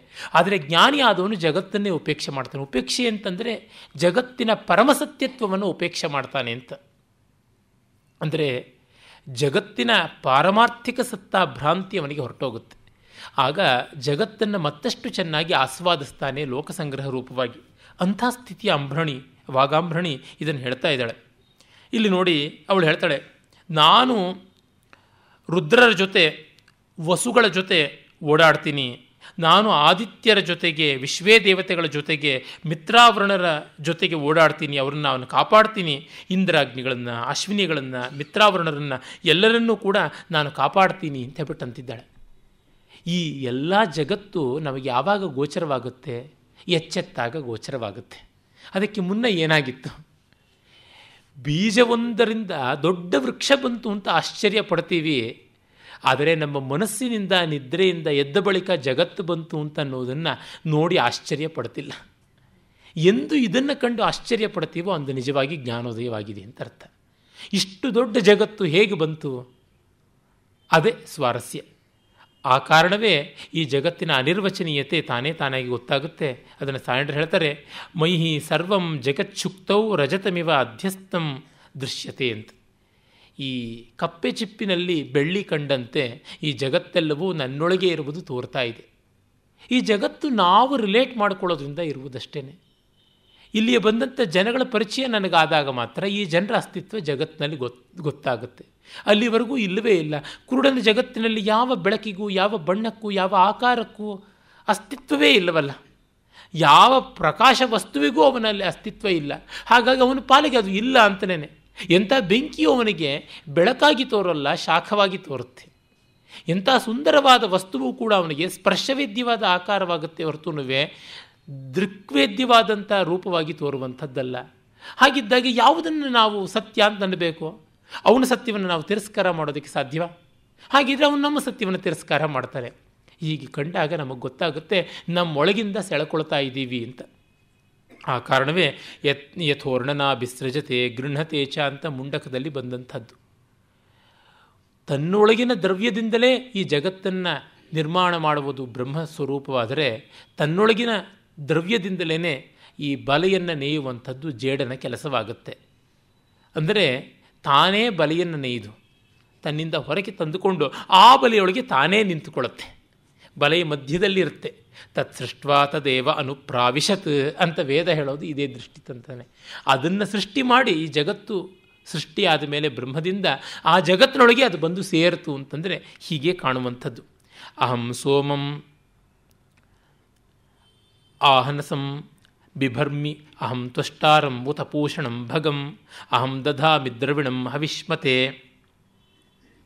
ಸುಪ್ರಾಖ್ಯೇಜಮಾನಸ್ಯ ಸುನ್ವತೆ. ನಾನು ಸೋಮವನ್ನು ಸೃಷ್ಟಿ ಮಾಡಿಕೊಟ್ಟಂಥವಳು, ಸೋಮವನ್ನು ಹಿಂಡುವಂಥವಳು, ಸೋಮವನ್ನು ಕಾಪಾಡುವಂಥವಳು, ನಾನು ತ್ವಷ್ಟೃವಿಗೆ, ಪೂಷನಿಗೆ, ಭಗನಿಗೆ, ಪೂಷ, ಭಗ, ಸವಿತ್ರ, ವಿಷ್ಣು, ಅರ್ಯಮ ಇವೆಲ್ಲ ಕೂಡ ಸೂರ್ಯನ ಬೇರೆ ಬೇರೆ ಸ್ವರೂಪಗಳಾಗಿ ದ್ವಾದಶಾದಿತ್ಯರಲ್ಲಿ ಬರುವಂಥ ಹೆಸರುಗಳಾಗಿರುವಂಥದ್ದು. ಭಗ ಅಂದರೆ ಎಲ್ಲಕ್ಕೂ ಕಾರಣರೂಪನಾದಂಥ ಮಂಗಳ ಸ್ವರೂಪಿ ಅಂತ. ಪೂಷ ಅಂತಂದರೆ ಎಲ್ಲವನ್ನು ಪುಷ್ಟಿ ಮಾಡಿಕೊಡುವಂಥವನು ಅಂತ. ಸವಿತ್ರ ಅಂದರೆ ಎಲ್ಲವನ್ನು ಹುಟ್ಟಿಸುವಂಥವನು ಅಂತ ಹೇಳ್ಬಿಟ್ಟಿದ್ರು ಆದಿತ್ಯ ಅಂದರೆ ಎಲ್ಲವನ್ನು ಸಂಯೋಜನೆ ಮಾಡಿಕೊಡುವಂಥವನು ಅಂತ ಹೇಳ್ಬಿಟ್ಟಿದ್ರು ದಿತಿ ಎಲ್ಲವನ್ನು ಒಡೆದು ಒಡೆದು ಹಾಕುವಂಥ ತತ್ವವಾದರೆ ಅದಿತಿ ಎಲ್ಲವನ್ನು ಸೇರಿಸುವಂಥ ತತ್ವ. ದೋ ಅವಖಂಡನೆ ಅವಸ್ಕಂದನೆ ಅನ್ನುವ ಧಾತುವಿನಿಂದ ನಮಗೆ ಗೊತ್ತಾಗುತ್ತೆ ದಿತಿ ಎನ್ನುವುದು ಸೀಳುವಂಥದ್ದು. ಡಿವೈಡಿಂಗ್ ಫೋರ್ಸ್ ಆದರೆ ಅದಿತಿ ಯೂನಿಫೈಯಿಂಗ್ ಫೋರ್ಸ್ ಅಂತ. ಆ ಕಾರಣವೇ ಇಂಟಗ್ರೇಟಿಂಗ್ ಫೋರ್ಸ್ ಸಂಘಾತಕವಾದಂತಹ, ಸಂಯೋಜಕವಾದ ಶಕ್ತಿಯ ಅದಿತಿಯ ಸಂತಾನವಾದ ಆದಿತ್ಯರು ದೇವತೆಗಳು ಅಂತ. ಒಡೆಯುವಂಥವರು ಡಿವೈಡಿಂಗ್ ನೇಚರ್ ಇರುವಂಥವರು, ಸೀಳು ಹಾಕುವಂಥವರು ದ್ವಿತೀಯ ಸಂತಾನವಾದ ದೈತ್ಯರು ಅಂತ. ಆಸುರಿ ದೃಷ್ಟಿ ಅಂತಂದರೆ ಎಲ್ಲವನ್ನ ಒಡೆದೊಡೆದು ಭಿನ್ನ ಭಿನ್ನವಾಗಿ ತೋರಿಸುವಂಥದ್ದು. ಅನಾಲಿಸಿಸ್ ಈಸ್ ರಾಕ್ಷಸಿ ಭಾವ ಸಿಂಥೆಸಿಸ್ ದಟ್ ಈಸ್ ದೈವಿ ಭಾವ ಅಂತ ಹೇಳಿಬಿಟ್ಟು. ಈ ಜಗತ್ತಿನಲ್ಲಿ ಬೇಡ ಅಂದರೂ ಅನಾಲಿಸಿಸ್ ಕಾಣಿಸುತ್ತೆ ಬೇಡ ಬೇಡ ಅಂದರೂ ನಾನಾತ್ವ ತೋರುತ್ತೆ. ಆದರೆ ನಮಗೆ ಬೇಕಾಗಿರುವುದು ಏಕತ್ವ. ಅದನ್ನು ನಾವು ರಿಯಲೈಸ್ ಮಾಡಿಕೊಳ್ಳಬೇಕಾದದ್ದು.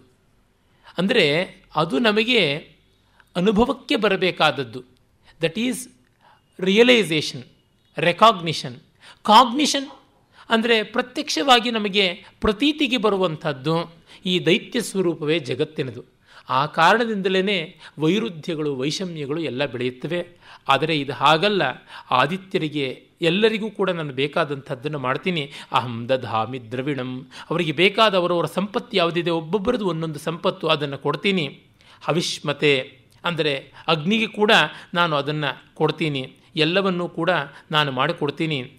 ಸುಪ್ರಾಖ್ಯೆ ಶೋಭನಂ ಹವಿರ್ದೇವ ನಾಂ ಪ್ರಾಪಯಿತ್ರೆ ತರ್ಪಯಿತ್ರೆ. ಒಳ್ಳೆ ದೇವರಿಗೆ ಏನೇನು ಬೇಕಾದರೂ ಕೊಡುವಂಥ ಹವ್ಯವಾಹನ ಅವನಿಗೆ ಶಕ್ತಿಯನ್ನು ನಾನು ಕೊಡ್ತೀನಿ. ಆ ಹವ್ಯವನ್ನು ವಹನ ಮಾಡುವಂಥ ಶಕ್ತಿಯನ್ನು ಕೊಡ್ತೀನಿ. ಅಹಂ ರಾಷ್ಟ್ರೀ ಸಂಗಮನಿ ವಸೂನಾಂ ಚಿಕಿತುಷಿ.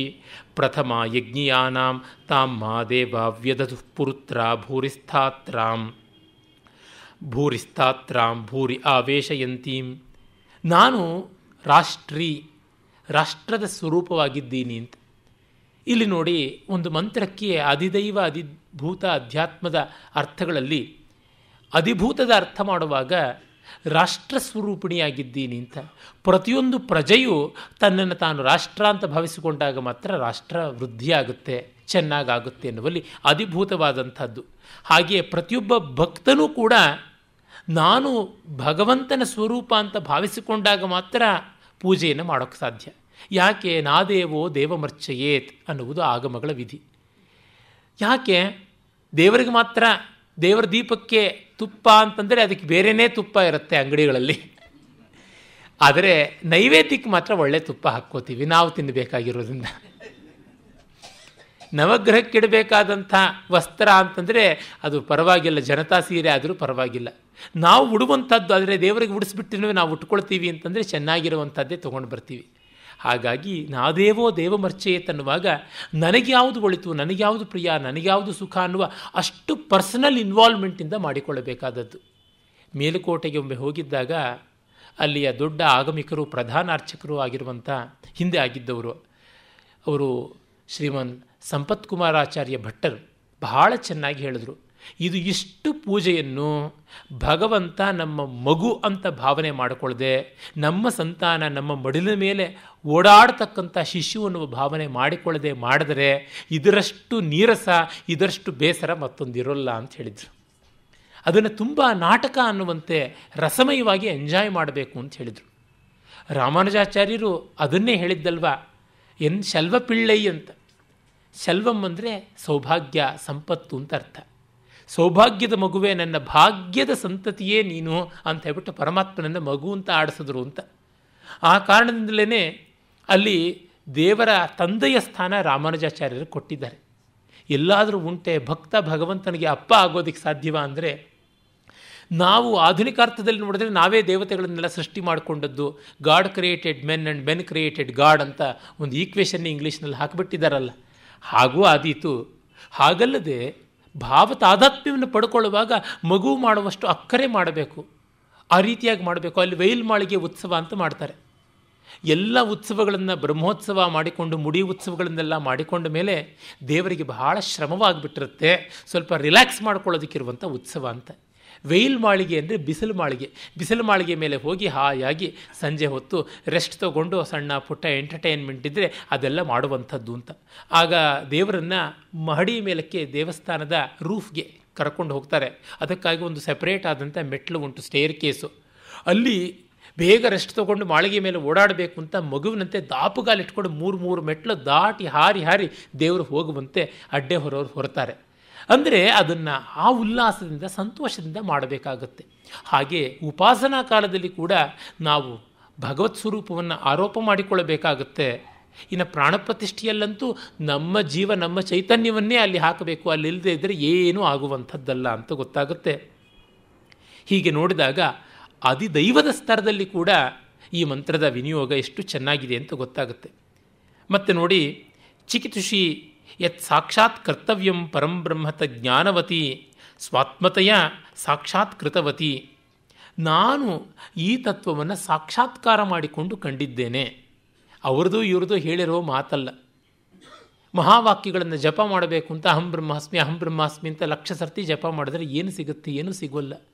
ಭಾವ ಮಾಡಿಕೊಳ್ಳುವಂಥದ್ದು ಬಹಳ ಮುಖ್ಯ ಅಂತ. ಹಾಗಾಗಿ ಎಷ್ಟನ್ನೋ ಸುಮ್ಮನೆ ಯಾರೋ ಸಂಗೀತದ ಸಪ್ತಸ್ವರಗಳಿಗೆ ಗಮಕಗಳಿಗೆ, ತಾಳಗಳಿಗೆ ಎಲ್ಲದಕ್ಕೂ ಸ್ವಾಹಾಕಾರ ಮಾಡಿ ಹೋಮ ಮಾಡ್ತೀವಿ ಅಂತ ಮಾಡಿದ್ರು. ಒಳ್ಳೆಯದೇ ನಿಜ. ಆದರೆ ಶ್ರುತಿ ಸಾಧನೆ ಮಾಡದೆ ಎಷ್ಟು ಸ್ವರಗಳಲ್ಲಿ ಹೋಮ ಮಾಡಿದ್ರೂ ಅಪಸ್ವರವೇ ಬರುತ್ತೆ, ಇನ್ನೇನು ಬರುವಂಥದ್ದಲ್ಲ. ಅದರಿಂದಲೇ pump and pray pray and pump ಅಂತಿದೆಯಲ್ಲ, ಅದನ್ನು ಮರೆಯಬಾರದು. ಅನುಭವಕ್ಕೆ ತಂದುಕೊಂಡು ಮಾಡಬೇಕು. ಅಂದರೆ ಹೆಜ್ಜೆ ಹೆಜ್ಜೆಗೂ ಕೂಡ ಕ್ರಿಯಾತ್ಮಕವಾಗುತ್ತಾ ಮಾಡಬೇಕಾಗುತ್ತೆ ನಾನು ಅದನ್ನು ಮಾಡಿದ್ದೀನಿ ಅಂತ ಹೇಳ್ಬಿಟ್ಟು ಅಂತಾಳೆ. ಅತಯೇವ ಯಜ್ಞಾನಾಂ ಯಜ್ಞಾರ್ಹಾಣಾಂ ಪ್ರಥಮ ಮುಖ್ಯ.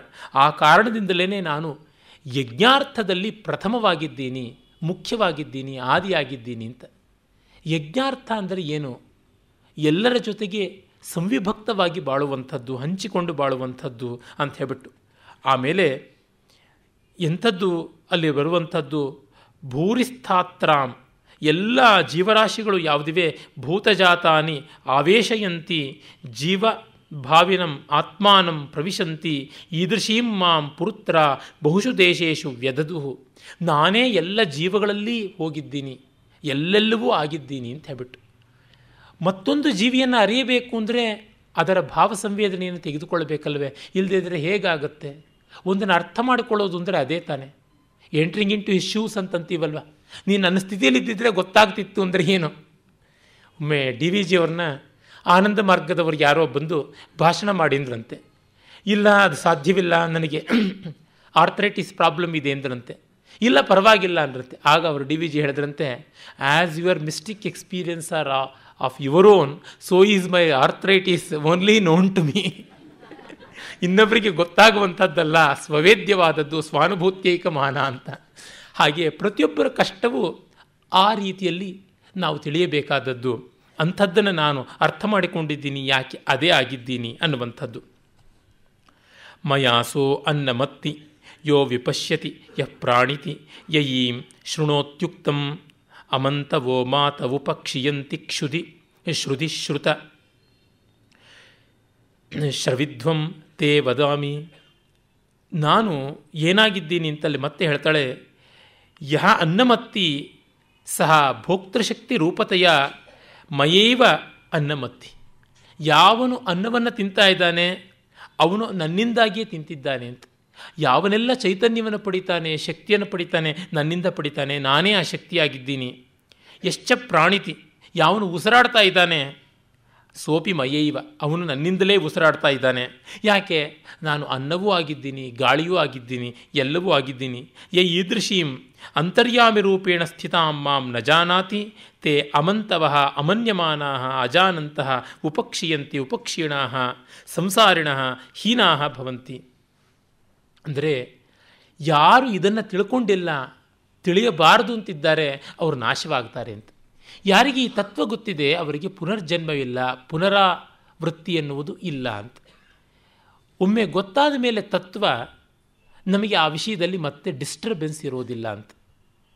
ಸ್ಪಷ್ಟವಾಗಿಬಿಡುತ್ತೆ ಎರಡು ಪ್ಲಸ್ ಎರಡು ನಾಲ್ಕು ಅನ್ನೋದು ಮನದಟ್ಟಾದವನಿಗೆ ಮತ್ತೆ ಮತ್ತೆ ಕೂಡಿಕೊಳ್ಬೇಕಾದಂಥ ಚಿಂತೆ ಇರುವುದಿಲ್ಲ ಹೀಗಾಗಿ ತತ್ವ ಗೊತ್ತಾದ ಮೇಲೆ ಆಗುವ ಲಾಭ ಏನಂದರೆ ಅದರ ಬಾಧೆ ಕಡಿಮೆ ಆಗುತ್ತೆ. ಅದರಿಂದ ನಾವು ನಿವೃತ್ತರಾಗ್ತೀವಿ. It will not bother us we will not be bothered by that ಈ ಒಂದು ಅರ್ಥದಲ್ಲಿ ಅವಳು ಹೇಳ್ತಾ ಇದ್ದಾಳೆ. ಹಾಗಾಗಿ, ಮಾ ಮಮಂತವೋ ಮದ್ವಿಷಯ ಅಜ್ಞಾನ, ಮದ್ವಿಷಯ ಜ್ಞಾನರಹಿತಾ ಅಂತ. ನನ್ನ ಬಗೆಗೆ ತಿಳುವಳಿಕೆ ಇಲ್ಲದೇ ಇರೋರು ಯಾರಿದ್ದಾರೆ, ಅವರು ನಾಶವೇ ಆಗುವಂಥದ್ದು. ಅದರಿಂದ ಗೊತ್ತಾಗುತ್ತೆ, ವಾಕ್ತತ್ವ ಆತ್ಮತತ್ವವನ್ನು ಅರಿಯದೇ ಇದ್ದರೆ ನಾಶ ತಪ್ಪಿದ್ದಲ್ಲ ಅಂತ. ಅಹಮೇವ ಸ್ವಯಮಿದಂ ವದಾಮಿ ಜುಷ್ಟಂ ದೇವೇಭಿರುತಮಾನುಷೇಭಿ ಯಂಕಾಮಯೇ ತಂತುಮುಗ್ರಂ ಕೃಣೋಮಿ ತಂ ಬ್ರಹ್ಮಾಣಂ ತಮೃಷಿಂ ತಂ ಸುಮೇಧಾಂ ಅದ್ಭುತವಾದಂಥ ಮಂತ್ರ ಇದು. ನಾನೇ ಸ್ವಯಂ ಎಲ್ಲವನ್ನೂ ಹೇಳ್ತೀನಿ ಅಂತ. ಅಂದರೆ ನಾನು ವ್ಯಕ್ತೀಕರಣ ಮಾಡೋದು, ವಸ್ತು ಬ್ರಹ್ಮಾತ್ಮಕಂ ವದಾಮಿ, ಉಪದಿಶಾಮಿ, ನಾನೇ ಉಪದೇಶ ಮಾಡ್ತೀನಿ, ನಾನೇ ತಿಳುವಳಿಕೆಯನ್ನು ಕೊಡ್ತೀನಿ. ಎಲ್ಲ ದೇವತೆಗಳಿಂದ ಜುಷ್ಟಂ ಅಂದರೆ ಆರಾಧಿತವಾದಂಥದ್ದನ್ನು ನಾನು ಹೇಳ್ತೀನಿ. ಮತ್ತು ಉತಾಪಿಚ ಮನುಷ್ಯೇಭಿ ಮನುಷ್ಯೈರಪಿ ಜುಷ್ಟಂ. ಮತ್ತು ಮನುಷ್ಯರಿಂದ ಕೂಡ ಆರಾಧಿತವಾದಂಥ ವಸ್ತುಗಳನ್ನು ಯಾವುದಿದೆ, ಅದೆಲ್ಲವನ್ನೂ ನಾನು ವಿವರಣೆ ಮಾಡ್ತೀನಿ. ಈದೃಕ್ ಸ್ವಾತ್ಮಾತ್ಮ ಸ್ವಾ ಸ್ವಾತ್ಮಿಕಾಂ ಅಹಂ ಕಾಮಯೇ ಎಂ ಪುರುಷಂ ರಕ್ಷಿತು ವಾಂಛಾಮಿ ತಂ ಪುರುಷಮುಗ್ರಂ ಕರೋಮಿ ಸರ್ವೇಭ್ಯ ಅಧಿಕಂ ಕರೋಮಿ. ಉಗ್ರ ಅನ್ನೋದಕ್ಕೆ ಸರ್ವೋತ್ಕೃಷ್ಟ ಅನ್ನುವಂಥ ಅರ್ಥವನ್ನು ಸಾಯಣರು ಇಲ್ಲಿ ಮಾಡ್ತಾರೆ. ಶಿವನಿಗೆ ಉಗ್ರ ಅನ್ನುವಂಥ ಹೆಸರಿರೋದು ಆ ಅರ್ಥದಲ್ಲಿ ಅಂತ ಶತಪಥ ಬ್ರಾಹ್ಮಣ ಕೂಡ ಹೇಳುತ್ತೆ. ಈ ರೀತಿಯಾಗಿ ನಾನು ಮಾಡ್ತೀನಿ, ಯಾರನ್ನು ಬಯಸ್ತೀನಿ ಅವರನ್ನು ನಾನು ಉದ್ಧರಿಸ್ತೀನಿ ಅಂತ. ಅದೇ, ಅದು ಬಯಸಿದಂತೆ ಆಗುವುದು ಅಂತ. ಇಲ್ಲಿ ನೋಡಿ ವಿಶಿಷ್ಟಾದ್ವೈತದ ಶರಣಾಗತಿ ತತ್ವ ಬರುತ್ತೆ. ನಾವು ಭಗವಂತನಿಗೆ ಬೇಕಾದವರಾದರೆ ಭಗವಂತ ನಮ್ಮನ್ನು ಉದ್ಧಾರ ಮಾಡ್ತಾನೆ ಅಂತ. ಹಾಗಾಗಿ ಅವನವನು ನಾನಾಗಬೇಕು. ಅವನಿಗೆ ಸೇರಿದವನು ನಾನಾಗಬೇಕು ಅಂತ. ಹಾಗೆ ಉದ್ಧಾರ ಅನ್ನೋದೇನು ಸ್ವಸ್ವರೂಪವನ್ನೇ ಪಡ್ಕೊಳ್ಳುವಂಥದ್ದು ಉದ್ಧಾರ ಅಂತ ಹೇಳ್ಬಿಟ್ಟಿನ ತಮೇವ ಬ್ರಹ್ಮಾಣಂ ಸೃಷ್ಟಾರಂ ಕರೋಮಿ. ಯಾರನ್ನು ಒಲಿತೀನಿ ಅವ್ರನ್ನ ನನ್ನನ್ನಾಗಿ ಮಾಡಿಬಿಡ್ತೀನಿ ಅಂತ. ಅಂದರೆ ಏನು? ನಾವು ಅರ್ಥ ಮಾಡಿಕೊಳ್ಳಬೇಕಾದದ್ದು ನಾವಾಗಬೇಕು. ಆಗ ನಮಗೆ ಭಯ ಇಲ್ಲ. ಬೆಂಕಿಗೆ ಉರಿಯ ಭಯ ಯಾವಾಗ ಕಡಿಮೆ ಆಗುತ್ತೆ? ಬೆಂಕಿ ಆದಾಗ, ಒಂದು ವಸ್ತುವಿಗೆ ಬೆಂಕಿಯ ಭಯ ಯಾವಾಗ ಹೋಗಬೇಕು? ಅದು ಬೆಂಕಿ ಆದಾಗ. ಒಬ್ಬನಿಗೆ ನೀರಿನ ಭಯ ಯಾವಾಗ ಹೋಗಬೇಕು? ಅವರು ನೀರೇ ಆದಾಗಲೇ ನೀರಲ್ಲಿ ಮೊಸಳೆಯಾದರೂ ಕಷ್ಟ. ಕೆಲವು ಮೊಸಳೆಗಳು ಉಪ್ಪು ನೀರಲ್ಲಿ ಮಾತ್ರ ಬಾಳತ್ವೆ ಕೆಲವು ಕೆಲವು ಸಿಹಿ ನೀರಲ್ಲಿ ಮಾತ್ರ ಬಾಳತ್ವೆ ಕೆಲವು ಮೀನುಗಳು ಹಾಗೇನೆ. ಆ ಸಾಲ್ಮನ್ ಮೀನುಗಳು ಅಂತಿವೆ ಅವು ಸಿಹಿ ನೀರಿನಲ್ಲಿ ಸಂತಾನೋತ್ಪತ್ತಿ ಮಾಡಿ ಉಪ್ಪು ನೀರಿನಲ್ಲಿ ಬೆಳೆಯುತ್ತವೆ. ಮತ್ತು ಸಂತಾನೋತ್ಪತ್ತಿಗೆ ಸಿಹಿ ನೀರಿಗೆ ಬರಬೇಕು, ಸಮುದ್ರದಿಂದ ನದಿಗಳಿಗೆ ಹಾರಿಕೊಂಡು ಬರ್ತವೆ. ಬಂದು ಸಂತಾನೋತ್ಪತ್ತಿ ಮಾಡಿ ಅಲ್ಲಿ ಉಳಿಯಲಾಗದೆ ಸತ್ತೇ ಹೋಗ್ಬಿಡುತ್ತೆ. ಅದು ಪ್ರಕೃತಿಯಲ್ಲಿ ಕಾಣುವಂಥ ಅನಾಮಲೆ ವೈಚಿತ್ರ್ಯ. ಏನಿದು ಎಂಥದ್ದು, ಎಂಥ ವಿಕಟತೆ ಅಲ್ವಾ ಅಂತಂದರೆ, ಹಾಗೆ ಅಷ್ಟು ಮೀನಿಗೆ ನೀರೇ ಸರ್ವಸ್ವ ಆದರೂ ಆ ನೀರು ಸ್ವಲ್ಪ ವ್ಯತ್ಯಾಸವಾದದ್ದಾಗ್ಬಿಟ್ರೆ ಎಂಥ ಅಪಾಯವಾಗಿಬಿಡುತ್ತೆ. ಈ ರೀತಿ ಕಂಡಾಗ ನಮಗೆ ಗೊತ್ತಾಗುತ್ತೆ, ನಾವು ಏನು ಭಯಪಡ್ತಾ ಇದ್ದೀವಿ ಯಾವುದರಿಂದ? ಅದು ಆಗದೆ ನಮಗೆ ಆ ಭಯ ಹೋಗುವಂಥದ್ದಲ್ಲ. ದ್ವಿತೀಯಾದ್ವೈ ಭಯಂ ಭವತಿ ಅನ್ನೋದು ಆ ಅರ್ಥದಲ್ಲಿ. ನಾವೇ ಅದಾಗ್ಬಿಟ್ರೆ ಆವಾಗ ನಿಶ್ಚಿಂತೆ ಯಾವ ತೊಂದರೆಯೂ ಇರುವಂಥದ್ದಲ್ಲ. ಇಂಥ ಸತ್ವವನ್ನು ನಾನು ಉಳಿಸ್ಕೊಂಡಿದ್ದೀನಿ ಅಂತ ಹೇಳ್ತಾಳೆ. ಅಹಂ ರುದ್ರಾಯ ಧನುರಾತನೋಮಿ ಬ್ರಹ್ಮದ್ವಿಶೇಷರವೇ ಹಂತವಾವು. ಅಹಂ ಜನಾಯ ಸಮದಂ ಕೃಣೋಮ್ಯಹಂ ದ್ಯಾವಾ ಪೃಥಿವಿ ಆವಿವೇಶ ರುದ್ರನಿಗೆ ನಾನು ಬ್ರಹ್ಮದ್ವಿಷೇ ಶರವೇ ಹಂತವಾ ಧನುರಾದದಾಮಿ. ಬ್ರಹ್ಮದ್ವೇಷಿಗಳಾದ ಬ್ರಹ್ಮ ಅಂದರೆ ವೇದ. ಇಡೀ ಋಗ್ವೇದದಲ್ಲಿ ಎಲ್ಲೆಲ್ಲಿ ಬ್ರಹ್ಮ ಅಂತ ಬರುತ್ತೆ ಅಲ್ಲೆಲ್ಲ ಕೂಡ ವೇದಾರ್ಥಕವಾಗಿಯೇ ಬಹಳ ಪ್ರಸಿದ್ಧವಾಗಿರುವಂಥದ್ದು. ಸಾಯಣಾಚಾರ್ಯರು ಇಲ್ಲಿ ಬ್ರಾಹ್ಮಣ ಅನ್ನುವ ಅರ್ಥವನ್ನು ಮಾಡಿದ್ದಾರೆ. ದೋಷವಿಲ್ಲ. ಕಾರಣ ಇಷ್ಟೇ, ಬ್ರಹ್ಮಜಾನಾತಿ ಬ್ರಾಹ್ಮಣ ಅಂತ. ವೇದವನ್ನು ಬಲ್ಲಂಥವನು ಬ್ರಾಹ್ಮಣ, ವೇದ ತತ್ವವನ್ನು ಬಲ್ಲಂಥವನು.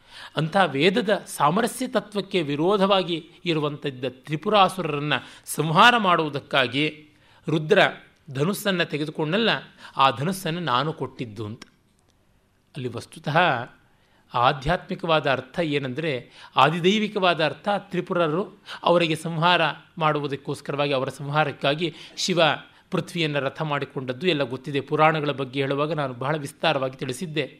ಅಲ್ಲಿ ಧನುಸ್ಸು ಮೇರು ಅಂತ. ಪ್ರಣವೋ ಧನುಹು ಅಂತ ಉಪನಿಷತ್ತಿನಲ್ಲಿ ಬರುತ್ತಲ್ಲ, ನಾನು ಪ್ರಣವವನ್ನು ಕೊಡ್ತೀನಿ ಅಂತ. ಪ್ರಣವ ಅಂದರೆ ಏನು ಅಂತ ನಿನ್ನೆಯೇ ನಾವು ನೋಡಿದ್ದೀವಿ. ಅಲ್ಲಿಗೆ ಅದು ಆಧ್ಯಾತ್ಮಿಕವಾದ ಅರ್ಥವಾಗುತ್ತೆ. ಮತ್ತು ಇದು ಯೋಗ ಸಾಧನೆಯ ಅರ್ಥವಾಗಿ ನೋಡಬೇಕಾದ್ರೆ ಧನುಸ್ಸು ಅನ್ನುವಂಥದ್ದು ಈ ಬೆನ್ನು ಮೂಳೆ ಅಂತ, ಮೇರುದಂಡ ಅಂತ ಕರಿತೀವಿ. ಆ ಮೇರುದಂಡದ ಸುಷುಮ್ನ ನಾಡಿ ಜಾಗರಣ ಆಗುವಂಥದ್ದು ಅಂತ ಅಲ್ಲಿ ರಾಜಯೋಗ. ಒಂದು ಕಡೆ ಜ್ಞಾನಯೋಗ, ಪ್ರಣವೋಪಾಸನೆ ಮತ್ತು ಅದು ಕೇವಲ ಅಕ್ಷರ ಪರಬ್ರಹ್ಮದಲ್ಲಿ ಅಂತನ್ನುವುದು ಯಾವುದಿದೆ? ಉದ್ಗೀತ ಇತ್ಯಾದಿಯಾಗಿ ಉಪನಿಷತ್ತಿನಲ್ಲಿ ಬರುವಂಥದ್ದಾದರೆ. ಇನ್ನೊಂದು ಕಡೆಗೆ ಅದು ಈ ಒಂದು ಸುಷುಮ್ನಾ ನಾಡಿಯ ಜಾಗರಣದ ಮೂಲಕವಾದಂಥ ರಾಜಯೋಗದ ಪ್ರಕ್ರಿಯೆ ಆಗುತ್ತೆ. ಇನ್ನೊಂದು ಕಡೆಗೆ ಪುರಾಣಗಳಲ್ಲಿ ಬರುವಂಥ ತ್ರಿಪುರಾಸುರ ಸಂಹಾರದ ಸಮೀಕರಣ ಮಾಡಿಕೊಂಡ್ರೆ ದೈವಿಕವಾದಂಥ ಶಿವನ, ರುದ್ರನ ಮಹಾತ್ಮ್ಯವನ್ನು ಹೇಳುವಂಥ ಕಥೆ ಆಗುತ್ತೆ. ಇನ್ನು ಆದಿಭೌತಿಕವಾಗಿ ನೋಡಿದಾಗಲೂ ನಮಗೆ ಗೊತ್ತಾಗುತ್ತೆ ಲೋಕತ್ರಾಸಕರನ್ನು ಹೇಗೆ ನಿಯಂತ್ರಣ ಮಾಡಬೇಕು ಅನ್ನುವಂಥದ್ದು. ಅವರಿಗೆ ಸ್ಟರ್ನ್ ಆ್ಯಕ್ಷನ್ನೇ ತೆಗೆದುಕೊಳ್ಳಬೇಕು. ಅವರನ್ನು ಕೊಲ್ಲದೆ ಬೇರೆ ದಾರಿ ಇಲ್ಲ. ಸಲ್ಲದೇ ಇದ್ದವರನ್ನ ಕೊಲ್ಲದೆ ಬೇರೆ ದಾರಿ ಇಲ್ಲ. ದುಷ್ಟನಿಗೆ ದಂಡ ಕೊಡಬೇಕು. ದುಷ್ಟಸ್ಯ ದಂಡ ಸುಜನಸ್ಯ ರಕ್ಷ. ಇದು ರಾಜನ ಮೊದಲ ಕರ್ತವ್ಯ ಅನ್ನುವಂಥದ್ದು ಹಾಗೂ ಕಾಣಿಸುತ್ತೆ. ಅಂದರೆ ಪ್ರತಿ ಮಂತ್ರಕ್ಕೂ ಕೂಡ ನಾವು ಯುಕ್ತತರವಾದ ರೀತಿಯಲ್ಲಿ ಮೂರು ಅರ್ಥಗಳನ್ನು ಮಾಡಬಹುದು. ಆದರೆ ಕೆಲವು ಅರ್ಥಗಳು ಎದ್ದು ಕಾಣುತ್ತವೆ ಪ್ರಧಾನವಾಗಿ. ಅಂಥ ಜಾಗದಲ್ಲಿ ನಾವು ಪ್ರಧಾನ ಅರ್ಥವನ್ನೇ ಕಾಣಬೇಕಲ್ಲದೆ ಎಲ್ಲ ಕಡೆಯಲ್ಲಿಯೂ ಎಲ್ಲ ಅರ್ಥವನ್ನು ತೋರಿಸ್ತೀನಿ ಅಂತ ಹೋಗುವಂಥದ್ದು. ಈ ಒಂದು ಸೂಕ್ತ ಆದಮೇಲೆ ನಾನು ಆ ಈ ಸರ್ಕಸ್ ಮಾಡಿದಂಥ ಕೆಲವೊಂದು ಪ್ರಯತ್ನಗಳನ್ನು ಸುಮ್ಮನೆ ಕುತೂಹಲಕ್ಕಾಗಿ ನಿಮಗೆ ತೋರಿಸ್ತೀನಿ. ಆಗ ಗೊತ್ತಾಗುತ್ತೆ ಯಾವ್ಯಾವ ತರಹ ಮಾಡ್ಬೋದು ಕಸರತ್ತುಗಳು ಅನ್ನೋದಕ್ಕೆ. ಒಂದು ಸ್ವಲ್ಪ ತರ್ಕವ್ಯಾಕರಣದ ಬಲ ಇದ್ದರೆ ಸಾಕು. ಏನೇನೂ ಮಾಡಬಹುದು ಅಂತ ಗೊತ್ತಾಗುತ್ತೆ. ಅದು ಉಪಾದೇಯವಲ್ಲ. ಅಹಂಸುವೆ ಪಿತರಮಸ್ಯ ಮೂರ್ಧನಿ.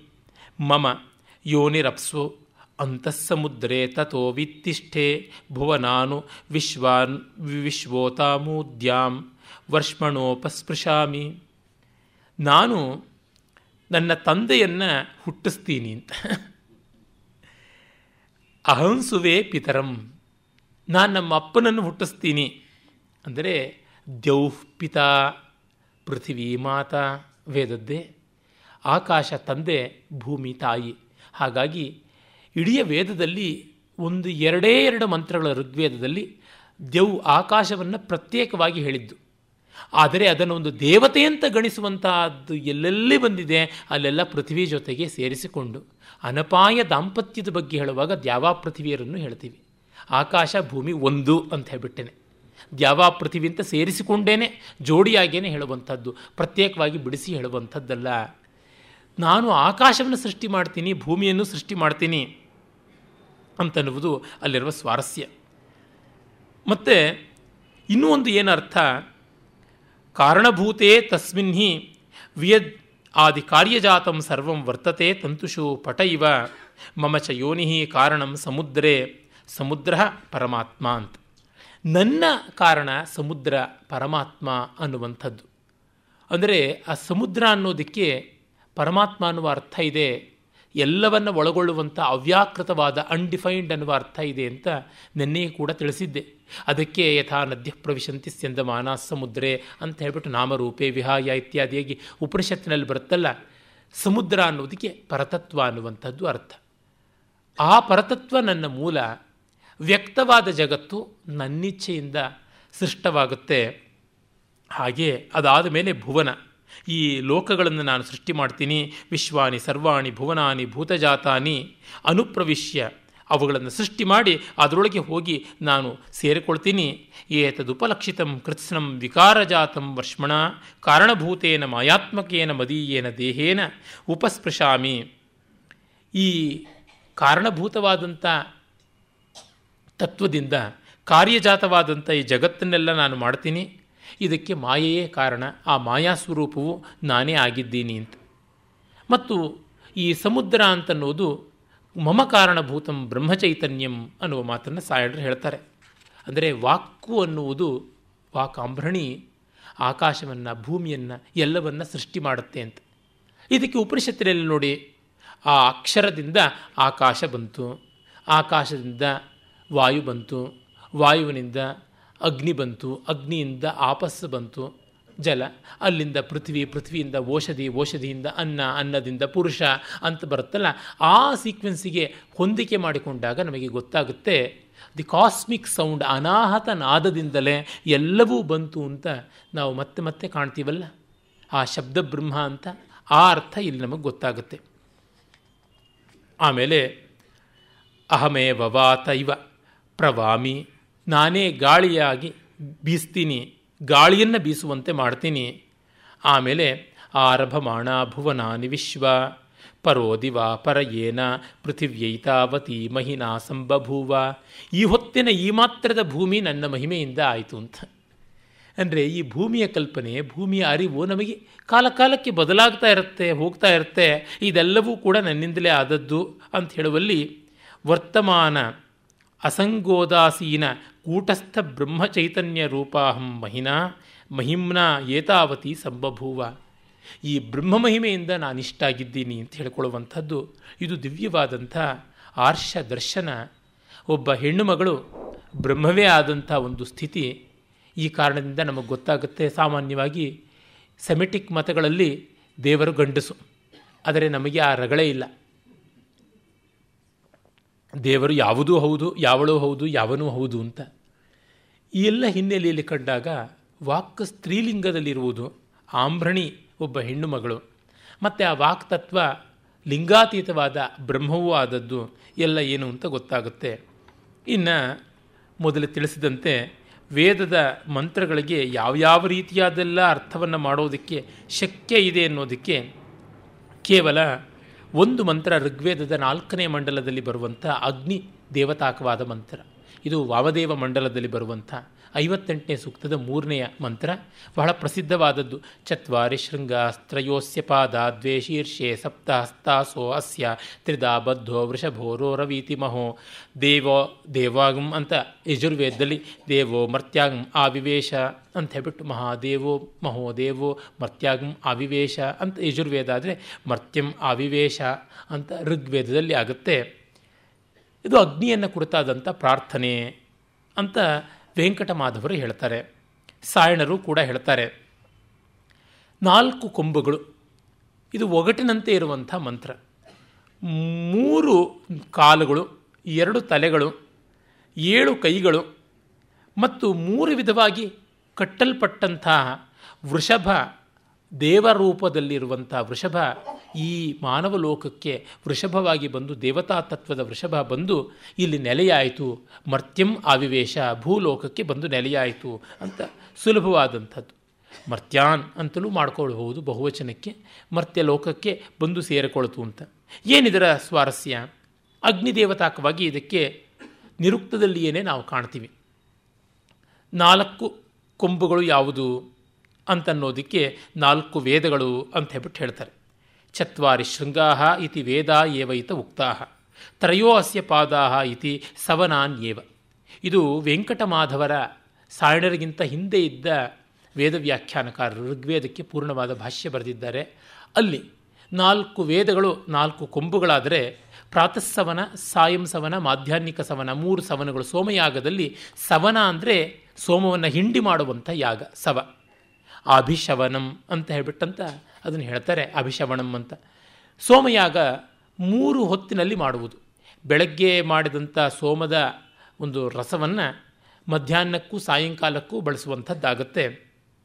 ಆ ಒಂದು ಮೂರು ಸವನಗಳು ಅಲ್ಲಿ ಕಾಣುವಂತಹ ಮೂರು ಪಾದಗಳು ಅಂತ ಹೇಳ್ಬಿಟ್ಟಂದರು. ಆಮೇಲೆ ಏಳು ಕೈಗಳು ಅಂತ ಯಾವುದಿವೆ, ಅದನ್ನು ಏಳು ಛಂದಸ್ಸುಗಳು ಅಂತ ಗಾಯತ್ರಿ. ಅನುಷ್ಟುಪ್, ತ್ರಿಷ್ಟುಪ್, ಜಗತಿ, ಪಂಕ್ತಿ, ಬೃಹತಿ, ಉಷ್ಣಿಕ್ ಇವುಗಳನ್ನು ಏಳು ಛಂದಸ್ಸುಗಳು ಅಂತ ಕರೆದರು. ಅವು ಪಾದ. ಆಮೇಲೆ ದ್ವೇ ಶೀರ್ಷೆ ಅಂತಿವೆಯಲ್ಲ, ಎರಡು ತಲೆಗಳು ಅಂತ ಹೇಳ್ಬಿಟ್ಟಿದ್ನವೆ. ಅದು ಪ್ರವರ್ಗ್ಯಗಳು ಅಂತನ್ನುವಂಥದ್ದು. ಪ್ರವರ್ಗ್ಯ ಅನ್ನುವುದು ಬೆಳಗ್ಗೆ ಸಂಜೆ ಎರಡು ಹೊತ್ತು ಮಾಡುವಂಥ ಯಜ್ಞರೂಪದ ಒಂದು ಕರ್ಮ. ಸೋಮಯಾಗದಲ್ಲಿ ಮಾಡುವಂಥದ್ದು ಪ್ರವರ್ಗ್ಯ ಅಂತ ಬರುತ್ತೆ. ಆ ಪ್ರವರ್ಗ್ಯದಲ್ಲಿ ಮೇಕೆಯ ಹಾಲನ್ನು ತುಪ್ಪದ ಜೊತೆಗೆ ಬೆರೆಸಿ ಅಗ್ನಿಗೆ ಆಹುತಿ ಕೊಡುವುದಾಗುತ್ತೆ, ಜ್ವಾಲೆಗಳು ಉತ್ತುಂಗವಾಗಿ ಏಳುತ್ತವೆ. ಅದಕ್ಕೆ ಸಂಬಂಧಪಟ್ಟಂಥದ್ದು ಪ್ರವರ್ಗ್ಯ ಅಂತ. ಮತ್ತು ಮೂರು ಬಂಧನ, ಮೂರು ಹುರಿಗಳ ಕಟ್ಟು ಉಂಟು ಅಂತಂದರೆ ಏನರ್ಥ? ಮಂತ್ರಕಲ್ಪೋ ಬ್ರಾಹ್ಮಣಂ ಅಂತ ಹೇಳ್ಬಿಟ್ಟು ಅಂತಾರೆ ಮಂತ್ರ, ಮಂತ್ರದ ವಿನಿಯೋಗ ಮತ್ತು ವಿನಿಯೋಗವನ್ನು ಸೂಚನೆ ಮಾಡುವ ಬ್ರಾಹ್ಮಣ ವಾಕ್ಯಗಳು. ಈ ಮೂರು ಸೇರಿಬಿಟ್ಟಿದ್ದು ಅದಾಗಿರುವಂಥದ್ದು. ಈ ವೃಷಭ ಯಾವುದು? ವೃಷಭೋ ರೋರವೀತ್ಯೇಷ ವೈ ವೃಷಭ ಏವ ತದ್ರೋರವೀತಿ ಯದ್ಯಜ್ಞೆ ಶಸ್ತ್ರಾಣಿ ಶಂಸಂತಿ ಋಗ್ಯಜುರ್ಭಿ ಸಾಮಭಿ ಬ್ರಹ್ಮಭಿರಿತಿ ಮಹೋದೇವ ಮರ್ತ್ಯಂ ಆವಿವೇಶ ಇತ್ಯೇಷ ಏವ ವೈ ಮಹಾನ್ ದೇವ ಯದ್ಯಜ್ಞ ಮರ್ತ್ಯಾನ್ ಆವಿವೇಶ ವೆಂಕಟಮಾಧವರು ಹೇಳ್ತಾರೆ, ಇದು ಯಜ್ಞದ ಒಂದು ಸ್ತೋತ್ರ. ಈ ಯಜ್ಞಕ್ಕೆ ನಾಲ್ಕು ವೇದಗಳು ಬೇಕು. ನಾಲ್ಕು ಜನ ಋತ್ವಿಜರೂ ಬೇಕು. ಒಂದೊಂದು ವೇದಕ್ಕೆ ಹೋತೃ, ಅಧ್ವರ್ಯು, ಉದ್ಗಾತೃ, ಬ್ರಹ್ಮ ಅಂತ ಋಕ್ಯಜು ಸಾಮಾಥರ್ವಗಳಿಗೆ ಬೇಕಾಗುತ್ತವೆ. ಮತ್ತು ಮೂರು ಹೊತ್ತಿನ ಸವನಗಳು ಉಂಟು. ಎರಡು ಹೊತ್ತಿನ ಪ್ರವರ್ಗ್ಯಗಳು ಉಂಟು. ಆಮೇಲೆ ಆ ವೇದಕ್ಕೆ ಬೇಕಾಗುವಂಥ ಮಂತ್ರ ಮತ್ತಿರ್ಗ ಮಂತ್ರದ ವಿನಿಯೋಗ, ಮತ್ತು ವಿನಿಯೋಗದ ವಿಧಾನ, ಹೀಗಾಗಿ ಅದು ಮೂರು ಕಟ್ಟುಗಳು. ಮತ್ತು ಮಂತ್ರಗಳು ಈ ಏಳು ಬಗೆಯ ಛಂದಸ್ಸಿನಲ್ಲಿ ಇರುತ್ತವೆ. ಹೀಗೆಲ್ಲ ವಿವರಗಳನ್ನು ಕೊಟ್ಟಿದ್ದಾರೆ. ಇನ್ನು ಸಾಯಣಾಚಾರ್ಯರು ಯಾವ ರೀತಿಯಾಗಿ ಹೇಳ್ತಾರೆ ಅಂತಂದರೆ ಯದ್ಯಪಿ ಸೂಕ್ತಸ್ಯ ಅಗ್ನಿಸೂರ್ಯಾದಿ ಪಂಚದೇವತಾಕತ್ವಾತ್ ಪಂಚಧಾಯಂ ಮಂತ್ರ ವ್ಯಾಖ್ಯಾಯೇಯ ವ್ಯಾಖ್ಯೇಯ ತಥಾಪಿ ನಿರುಕ್ತಾದ್ಯುಕ್ತರೀತ್ಯ ಯಜ್ಞಾತ್ಮಕಾಗ್ನೇಹೇ ಸೂರ್ಯಸ್ಯ ಚ ಪ್ರಕಾಶಕತ್ವೇನ ತತ್ಪರತೆಯ ವ್ಯಾಖ್ಯಾಯತೆ ಅಂತ. ಇದಕ್ಕೆ ಐದು ವಿಧವಾಗಿ ಅರ್ಥ ಮಾಡ್ಬೋದಾದರೂ ನಿರುಕ್ತಕಾರರ ಮತಾನುಸಾರವಾಗಿ ಅಗ್ನಿಯನ್ನು, ಸೂರ್ಯನನ್ನು ಇಟ್ಟುಕೊಂಡು ಮಾಡಬಹುದು ಅಂತ ಹೇಳ್ಬಿಟ್ಟಿದ್ರು. ಅವರು ತೆಗೆದುಕೊಂಡು ನಾಲ್ಕು ಶೃಂಗಗಳು ಯಾವುದು ಅಂತನ್ನುವಾಗ ಅವರು ಹೇಳ್ತಾರೆ ಮತ್ತು ನಾಲ್ಕು ವೇದಗಳು ಮತ್ತು ಮೂರು ಸವನಗಳು, ಪ್ರವರ್ಗಿಗಳು, ಇವೆಲ್ಲ ಉಂಟು ಯಜ್ಞರೂಪದ್ದೇನೆ ಅಂತ. ಆದರೆ ಇದಕ್ಕೆ ಅಗ್ನಿಗೆ ಹೊಂದುವಂಥ ರೀತಿಯಲ್ಲಿ ಹೇಳಬೇಕು ಅಂದರೆ ನಾಲ್ಕು ವೇದಗಳನ್ನು ಹೇಳುವಂಥದ್ದಾಗತ್ತೆ. ಆಮೇಲಿಂದ ತ್ರೇತಾಗ್ನಿಗಳು ಯಾವುದಿವೆ? ಗಾರ್ಹಪತ್ಯ, ಆಹ್ವನೀಯ ಮತ್ತು ದಕ್ಷಿಣ ಅಂತ ಅವುಗಳನ್ನು ಕುರಿತು ಹೇಳುವಂಥದ್ದಾಗಿದೆ. ಆಮೇಲಿಂದ ನಾವು ನೋಡುವಂತೆ ಈ ಏಳು ಛಂದಸ್ಸುಗಳು ಕೂಡ ಅಲ್ಲಿ ಬಂದು ಸೇರಿಕೊಳ್ಳೋದಾಗುತ್ತೆ. ಹೀಗೆ ಅಗ್ನಿದು ಸಮೀಕೃತವಾಗುತ್ತೆ, ಬಹುಮಟ್ಟಿಗೆ ಯಜ್ಞದ್ದು. ಇನ್ನು ಆದಿತ್ಯನದು ಹೇಗೆ ಮಾಡಬೇಕಾಗುತ್ತೆ? ಆದಿತ್ಯನಿಗೆ ಸಂಬಂಧಪಟ್ಟಂತೆ ನೋಡಿದಾಗ ನಮಗೆ ಗೊತ್ತಾಗುತ್ತೆ, ನಾಲ್ಕು ಹಂತಗಳಲ್ಲಿ ಹೇಳಬೇಕಾಗತ್ತಲ್ಲ. ನಾಲ್ಕು ಋಗ್ಭಿ ಪೂರ್ವಾಣ್ಣೆ ದಿವಿ ದೇವ ಈಯತೆ ಇತ್ಯುಪಕ್ರಮ್ಯ ಅಂತ ತ್ರಯೋ ಪಾದಾಹ ತ್ರಯಃಪಾದಾಹ ಮೂರು ಪಾದಗಳು ಅನ್ನುವಾಗ ಹಗಲು, ಮಧ್ಯಾಹ್ನ ಸಂಜೆ ಅಂತ. ದ್ವೇ ಶೀರ್ಷೆ ಎರಡು ತಲೆಗಳು ಅಂತ ಹೇಳುವಾಗ ಅಹಸ್ಸು, ರಾತ್ರಿ ಅಂತ ಹೇಳ್ಬಿಟ್ಟಿದ್ನುವೆ ಇನ್ನು ನಾಲ್ಕು ಅಂತ ಬಂತಲ್ಲ, ಚತ್ವಾರಿ ಶೃಂಗಾಹ ಅಂತನ್ನಬೇಕು ಅಂತನ್ನುವಾಗ ಅದಕ್ಕೆ ನಾಲ್ಕು ದಿಕ್ಕುಗಳು, ನಾಲ್ಕು ದಿಕ್ಕುಗಳನ್ನು ಸೂರ್ಯ ಬೆಳಗ್ತಾ ಇದ್ದಾನೆ ಅಂತ ಮಾಡಬೇಕಾಗತ್ತೆ. ಏಳು ಕೈಗಳು ಅಂತಂದರೆ ಸಪ್ತ ರಶ್ಮಿಗಳು ಅಂತ ಹೇಳಬೇಕು ಹೇಳಬೇಕಾಗತ್ತೆ. ಮತ್ತು ತ್ರಿಧಾ ಬದ್ಧ ಅಂತನ್ನುವಾಗ ಭೂಸ್ಥಾನ, ಅಂತರಿಕ್ಷ ಸ್ಥಾನ, ದ್ಯುಸ್ಥಾನ ಅಂತ. ಭೂಮಿಯಲ್ಲಿ ಸೂರ್ಯನೇ ಅಗ್ನಿಯಾಗಿರ್ತಾನೆ. ಅಂತರಿಕ್ಷದಲ್ಲಿ ವಿದ್ಯುತ್ ಆಗಿರ್ತಾನೆ. ದ್ಯುಸ್ಥಾನದಲ್ಲಿ ಆದಿತ್ಯನಾಗಿರ್ತಾನೆ ಅಂತ ಅದನ್ನು ಹೇಳಬೇಕು ಅಂತಂತಾರೆ. ಹೀಗಾಗಿ ಸೂರ್ಯನು ವೃಷಭರೂಪಿಯಾಗಿ ಬರ್ತಾನೆ ಅಂತನ್ನುವುದು ಒಂದು ಅರ್ಥ. ಹೀಗೆ ಯಾಸ್ಕರು ಈ ಒಂದು ಅರ್ಥವನ್ನೇ ಮಾಡಿದ್ದಾರೆ ಅಂತ ಹೇಳಿದೆ. ಇನ್ನು ಪಸ್ಪಶಾನ್ನಿಕದಲ್ಲಿ ಪತಂಜಲಿ ಮುನಿಗಳು ವ್ಯಾಕರಣ ಮಹಾಭಾಷ್ಯ ಬರೆದವರು ಯಾವ ಅರ್ಥ ಹೇಳ್ತಾರೆ? ಚತ್ವಾರಿ ಶೃಂಗಾಹ ಅನ್ನೋದಕ್ಕೆ ಇದು ವ್ಯಾಕರಣದ ಅರ್ಥವನ್ನು ಮಾಡ್ತಾರೆ. ಆಖ್ಯಾತ ನಾಮ ಉಪಸರ್ಗ ನಿಪಾತಾಹ ಅಂತ. ಒಂದು ಭಾಷೆಯಲ್ಲಿರುವಂಥದ್ದು ನಾಮಪದಗಳು. ಅದು ನಾಮ. ಸುಬಂತ ಶಬ್ದಗಳು ಅಂತ ಯಾವುದಿವೆ? ಅವು. ಆಮೇಲಿಂದ ತಿಂಗಂತ ಶಬ್ದಗಳು ಅಂತ ಯಾವುದಿವೆ? ಆಖ್ಯಾತಗಳು ಅಂತ ಕ್ರಿಯಾಪದಗಳು. ನಾಮಪದಗಳು, ಕ್ರಿಯಾಪದಗಳು. ಈ ಕೃದಂತಗಳೆಲ್ಲ ಇಲ್ಲ ನಾಮಪದಕ್ಕೆ ಬಂದು ಸೇರಿಕೊಳ್ಳುತ್ತವೆ, ಇಲ್ಲ ಒಂದಷ್ಟು ಕ್ರಿಯಾಪದಗಳಿಗೆ ಆಗುತ್ತವೆ. ತದ್ದಿತಗಳು ನಾಮಪದಕ್ಕೆ ಬಂದು ಸೇರಿಕೊಳ್ಳುತ್ತವೆ. ಅದಾದ ಮೇಲಿಂದ ಉಪಸರ್ಗಗಳು. ಉಪಸರ್ಗ ಅಂದರೆ ಆಹಾರ ಅನ್ನುವಲ್ಲಿ ಆ ಅನ್ನುವುದು ಉಪಸರ್ಗ, ವಿಹಾರ ಅನ್ನುವಲ್ಲಿ ವಿ ಅನ್ನುವುದು ಉಪಸರ್ಗ, ಪ್ರಹಾರ ಅನ್ನೋದ್ರೊಳಗೆ ಪ್ರ ಅಂತ ಇಪ್ಪತ್ತೆರಡು ಉಪಸರ್ಗಗಳು ಇವೆ. ಅವು ಉಪಸರ್ಗ. ಮತ್ತು ನಿಪಾತ, ಅವ್ಯಯ ರೂಪವಾಗಿ ಚ, ವೈ, ತು, ಹಿ ಇತ್ಯಾದಿಯಾಗಿ ಬರುವಂಥದ್ದು. ಅವೆಲ್ಲ ಉಪಸರ್ಗಗಳು. ಹೀಗೆ ವಾಕ್ ಅಂತ ಯಾವುದಿದೆ ಅದು ಶಬ್ದರೂಪವಾಗಿದ್ದಾಗ ನಾಮಪದ, ಕ್ರಿಯಾಪದ, ಉಪಸರ್ಗ, ನಿಪಾತ ಅಂತ ನಾಲ್ಕು ರೂಪ. ಹಾಗಾಗಿ ಚತ್ವಾರಿ ಶೃಂಗಾಹ. ತ್ರಯೋಸ್ಯ ಪಾದಾಹ ಅಂದರೆ ಭೂತ ಭವಿಷ್ಯದ್ ವರ್ತಮಾನ ಅನ್ನುವ ಮೂರು ಕಾಲಗಳು ಅವುಗಳಾಗುತ್ತವೆ. ಆಮೇಲೆ ದ್ವೇಷೀರ್ಷೆ ಅಂತಂದರೆ ಶಬ್ದಾತ್ಮಾನೋ ನಿತ್ಯಶ್ಚ ಕಾರ್ಯಶ್ಚ ಅಂತ. ಕಾರ್ಯ ಶಬ್ದ ಒಂದು ನಿತ್ಯ ಶಬ್ದ ಒಂದು ಅಂತ ಎರಡು ರೀತಿಯಾಗಿರುತ್ತೆ ಅಂತ ಬಿಟ್ಟಿದ್ದು ಅಂದರೆ ನಿತ್ಯವಾದಂಥದ್ದು ಒಂದು ಶಬ್ದದ ರೂಪ, ಶಾಶ್ವತವಾದದ್ದು. ವ್ಯಾವಹಾರಿಕವಾದದ್ದು ಹುಟ್ಟು ತುಟ್ಟುತ್ತಾ ಸಾಯುವಂಥದ್ದು, ಅನಾದ್ಯನಂತವಾಗಿರುವಂಥ ಶಬ್ದ ಅಂತ. ಅದು ಎರಡು ವಿಧ. ಸಪ್ತಹಸ್ತಾಸಹ ಅಂತ. ಏಳು ಕೈಗಳು. ಯಾವುದದು? ಸಪ್ತ ವಿಭಕ್ತಿಗಳು. ಪ್ರಥಮದಿಂದ ಸಪ್ತಮಿ ವಿಭಕ್ತಿವರೆಗೂ ಇರುವಂಥದ್ದು. ಅಲ್ಲಿಯೇ ಆರು ಕಾರಕಗಳು ಕೂಡ ಸೇರಿ ಹೋಗ್ಬಿಡ್ತವೆ. ಕರ್ತೃಕಾರಕ, ಕರ್ಮಕಾರಕ, ಕ್ರಿಯಾಕ, ಮತ್ತು ಕರ್ಣಕಾರಕ, ಸಂಪ್ರದಾನ, ಅಪಾದಾನ, ಅಧಿಕರಣ. ಆಮೇಲೆ ಸಂಬಂಧಕಾರಕ ಅಂತ ಷಷ್ಠಿಯನ್ನು ಕೂಡ ತಗೋಬಹುದು. ಹೀಗಾಗುತ್ತೆ. ಆಮೇಲಿಂದ ತ್ರಿಧಾಬದ್ಧ ಅಂತಂದರೆ ತ್ರಿಷು ಸ್ಥಾನೇಶು ಉರಸ್ಸು, ಕಂಠ, ಶಿರಸ್ಸು ಅಂತ ಮೂರು ಸ್ಥಾನಗಳು. ಅಂದರೆ ಪ್ರಯತ್ನ ಮಾಡುವಾಗ ನಾವು ಎದೆಯಿಂದ ಹೇಳಬೇಕಾದಂಥದ್ದು ಬ್ರಹ್ಮ ಅನ್ನುವಲ್ಲಿ ಉರಸ್ಥಾನದಿಂದ ಕಂಪನ ಬರುತ್ತೆ. ಬ್ರಹ್ಮ, ಮಧ್ಯಾಹ್ನ ಅನ್ನುವಾಗ ಅಪರಾಹ್ನ ಅಂತನ್ನುವಾಗ ಉರಸ್ಥಾನದಿಂದ ಬರುತ್ತೆ ಅಂತ. ಕಂಠದಿಂದ ಬರುವಂಥದ್ದು. ಶಿರಸ್ಸಿನಿಂದ ಅನುನಾಸಿಕ ಇತ್ಯಾದಿಯಾಗಿ ಬರುವಾಗ ಶಿರಸ್ಸಿನಿಂದ ಬರುತ್ತೆ. ಅಂತ ಹೀಗೆ ಮೂರು ಸ್ಥಾನಗಳು ಉಂಟು. ಅಂತಂತಾರೆ, ಈ ದ್ರೂಪದಿಂದ ಕಂಡಾಗ ವ್ಯಾಕರಣಕ್ಕೆ ಸಂಬಂಧಪಟ್ಟಂತೆ, ಶಬ್ದಬ್ರಹ್ಮಕ್ಕೆ ಸಂಬಂಧಪಟ್ಟಂತೆ ಹೇಳಿರುವಂಥದ್ದು ಇದು ಅಂತ ಹೇಳಿ. ಆಮೇಲೆ ಇದನ್ನು ಮತ್ತೊಂದು ರೀತಿಯಲ್ಲಿ ಕೂಡ ದಯಾನಂದ ಸರಸ್ವತಿಗಳು ಅನ್ವಯ ಮಾಡ್ತಾರೆ. ಯಾವುದದು ಅಂತಂದರೆ ನೋಡಿ ನಾಲ್ಕು ಅಂತನ್ನುವಲ್ಲಿ ನಾಲ್ಕು ವೇದಗಳನ್ನು ಹೇಳ್ತಾರೆ. ಚತ್ವಾರಿ ಶೃಂಗಾಹ ಅಂತ ಹೇಳ್ಬಿಟ್ಟಿದ್ನುವೆ. ತ್ರಯೋಸ್ಯ ಪಾದ ಅಂತ.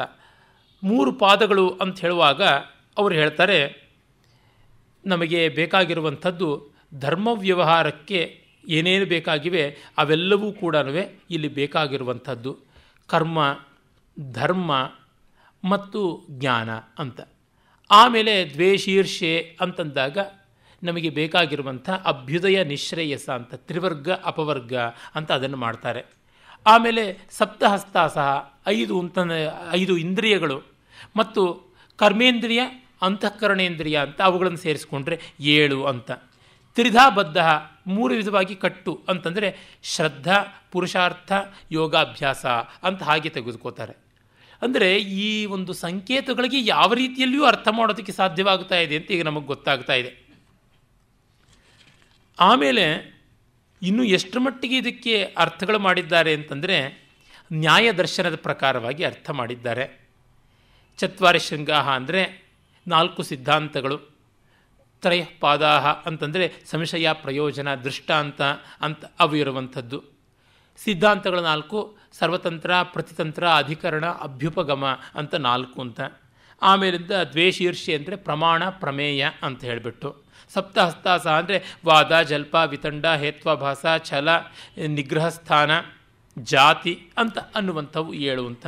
ತ್ರಿದಾಬದ್ಧ ಅಂತಂದರೆ ಗುರು, ಶಿಷ್ಯ ಸತೀರ್ಥ್ಯ ಗುರು, ಶಿಷ್ಯ ಮತ್ತು ಕ್ಲಾಸ್ಮೇಟ್ಸ್ ಅಂತ. ಹೀಗೆ ಹೋಗ್ತಾ ಬಂದರೆ ವೈಶೇಷಿಕ ದರ್ಶನ, ಯೋಗ ದರ್ಶನ, ಸಾಂಖ್ಯ ದರ್ಶನ ಕರ್ಮಮೀಮಾಂಸ ವೇದಾಂತ, ಭಕ್ತಿ ಈ ಥರ ಎಲ್ಲ ದಿಕ್ಕೂ ಕೂಡ ಮಾಡಿದ್ದಾರೆ. ಮಧುಸೂದನ ಸರಸ್ವತಿಗಳು ಭಕ್ತಿಪರವಾಗಿ ಅರ್ಥ ಮಾಡಿದ್ದಾರೆ. ಹೀಗೆ ಕಾಣಿಸುತ್ತೆ. ಅಂದರೆ ಎಷ್ಟೆಷ್ಟು ರೀತಿ ಅರ್ಥ ಮಾಡ್ಬೋದು. ಮತ್ತು ಧರ್ಮಶಾಸ್ತ್ರ, ವ್ಯಾಕರಣ ಇತ್ಯಾದಿಯಾಗಿ ಎನ್ನೆಲ್ಲ ಮಿಕ್ಕ ಶಾಸ್ತ್ರಗಳಿಗೂ ಸಂಬಂಧಪಟ್ಟಂತೆ. ಇದರಿಂದ ವೇದಕ್ಕೆ ಏನೂ ಅರ್ಥ ಹೇಳ್ಬೋದಾ? ನಮ್ಮ ಮನಸ್ಸಿನಲ್ಲಿ ಏನು ಅರ್ಥ ಇದೆ ಅದನ್ನು ನಾವು ಕೊಡ್ತಾ ಇದ್ದೀವಿ. ಅಲ್ಲಿಗೆ ಅದು ಬರುತ್ತೆ. ಇದು ಯುಕ್ತವಾ ಅಂತ ಬರುತ್ತೆ. ಆಗ ನಾವು ಸಂದರ್ಭವನ್ನು ನೋಡಿ ಹೇಳಬೇಕಾಗುತ್ತೆ. ಆ ಕಾರಣದಿಂದಲೇ ಸಾಯಣಾಚಾರ್ಯರು ವೇದಗಳಿಗೆ ಪ್ರಧಾನವಾಗಿ ಯಜ್ಞ ಅರ್ಥ ಹೇಳಿದ್ದಾರೆ. ಯಜ್ಞದಲ್ಲಿ ವಿಶೇಷವಾಗಿ ಬಳಕೆ ಇದೆ. ಮತ್ತು ಯಜ್ಞ ಆರಾಧನೆಗೆ ಸಂಬಂಧಪಟ್ಟದ್ದು. ನಮ್ಮ ಪೂಜೆಗಾಗಲಿ, ಯಜ್ಞಕ್ಕಾಗಲಿ ಅಂಥ ದೊಡ್ಡ ವ್ಯತ್ಯಾಸ ಇಲ್ಲ.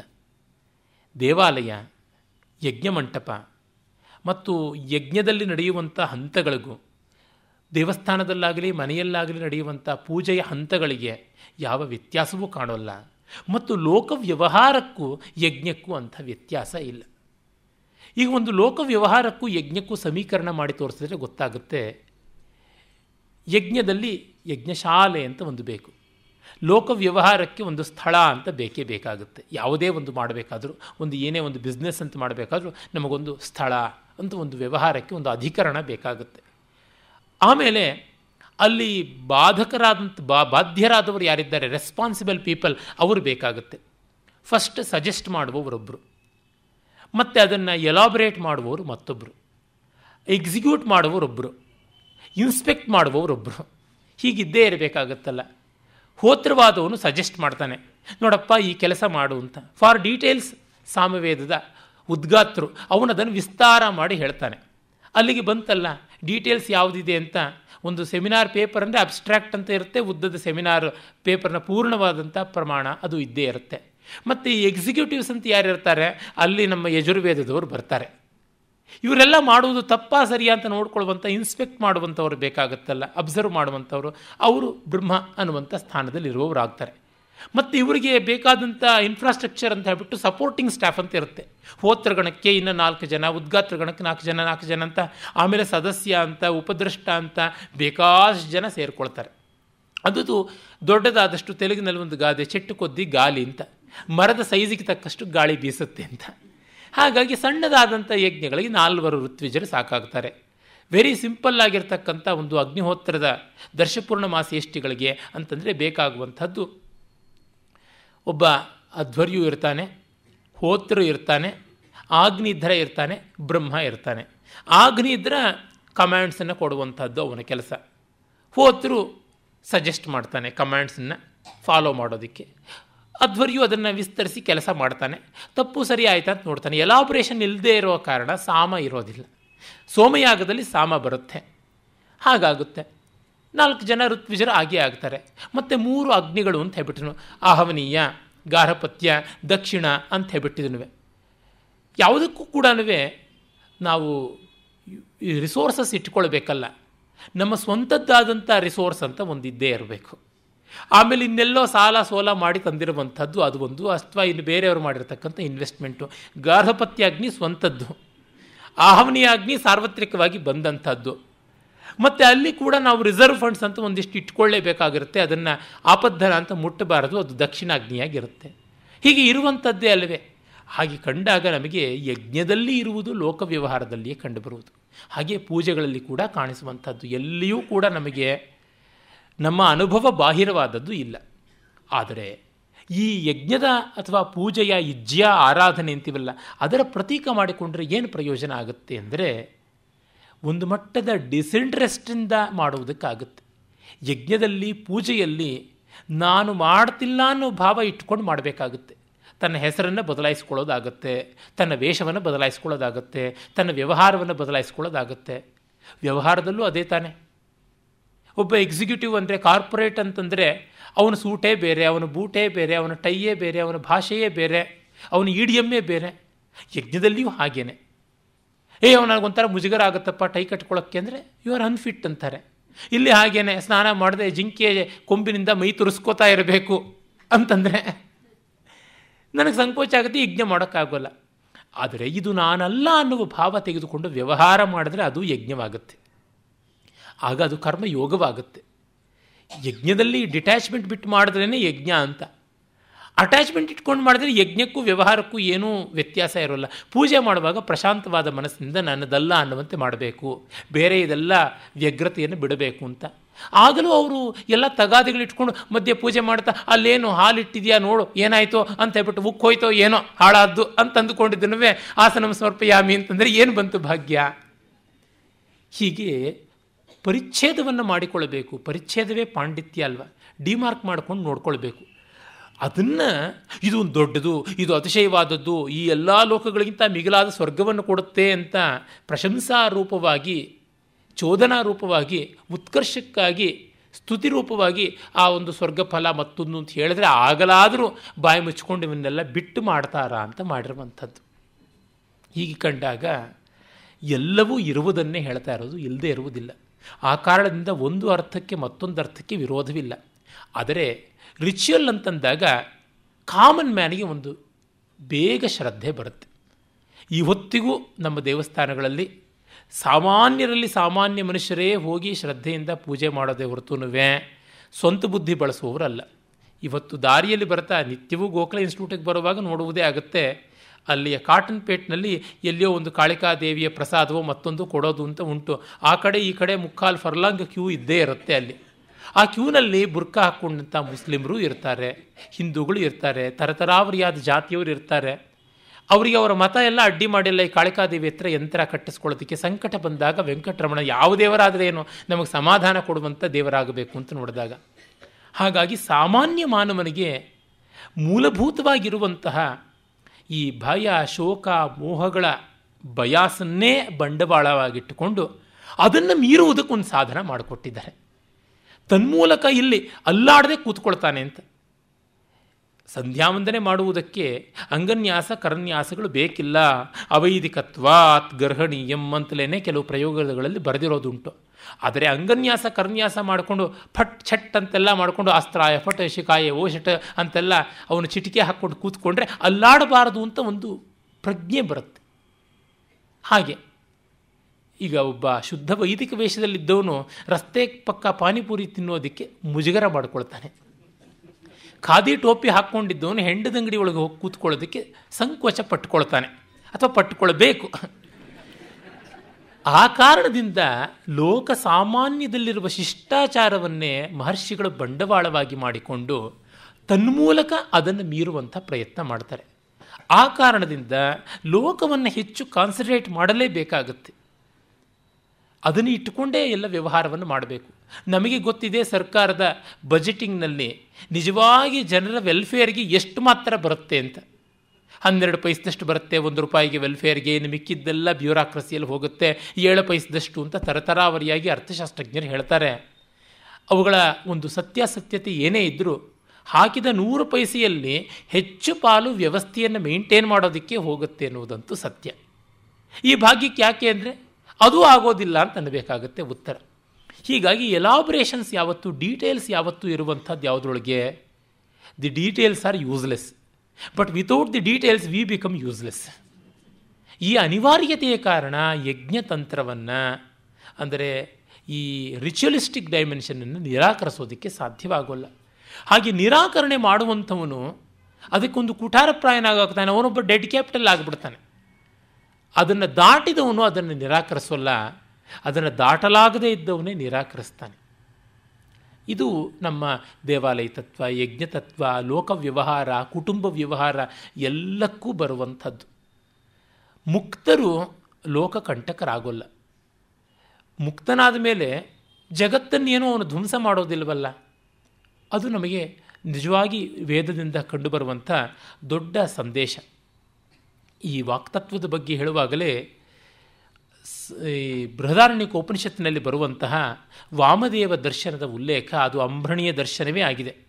ಬ್ರಹ್ಮವಾಯಿದಮಗ್ರ ಆಸೀತ್ ತದಾತ್ಮಾನಮೇವಾವೇತ್, ಅಹಂ ಬ್ರಹ್ಮಾಸ್ಮೀತಿ, ತಸ್ಮಾತ್ ತತ್ಸರ್ವಮಭವತ್, ತದ್ಯೋ ಯೋ ದೇವಾನಾಂ ಪ್ರತ್ಯಬುಧ್ಯತ ಸ ಏವ ತದಭವತ್, ತಥರ್ಷೀಣಾಂ ತಥಾ ಮನುಷ್ಯಾಣಾಂ ತದ್ಯೇತತ್ ಪಶ್ಯನ್ ಋಷಿರ್ವಾಮದೇವ ಪ್ರತಿಪೇದೆ, ಅಹಂ ಮನುರಭವಂ ಸೂರ್ಯಶ್ಚೇತಿ, ತದಿದಂ ಅಪ್ಯೇತರ್ಹಿ ಯ ವೇದ ಅಹಂ ಬ್ರಹ್ಮಾಸ್ಮೀತಿ ಸೈದಂ ಸರ್ವಂ ಭವತಿ ತಸ್ಯ ದೇವಶ್ಚ ನಾಭೂತ್ಯ ಈಶತೆ ಆತ್ಮ ಹ್ಯೇಷಾಂಸ ಭವತಿ ಹೀಗೆ ಇಲ್ಲಿ ವೇದದಲ್ಲಿ ಮೊದಲು ಬ್ರಹ್ಮವೇ ಇತ್ತು. ಅದು ನಾನು ಬ್ರಹ್ಮವಾಗಿದ್ದೀನಿ ಅಂತ ಅಂದುಕೊಳ್ತು. ಆ ಬ್ರಹ್ಮದಿಂದಲೇ ಎಲ್ಲವೂ ಬಂತು. ಮತ್ತು ದೇವತೆಗಳು ಎಲ್ಲರೂ ಕೂಡ ಯಾರು ಬ್ರಹ್ಮವನ್ನು ತಿಳ್ಕೊಳ್ತಾರೋ, ಅವರು ಅದೇ ಆಗ್ತಾರೆ. ಪ್ರತ್ಯಬುದ್ಧ್ಯತ ಸಯೇವ ತದಭವತ್.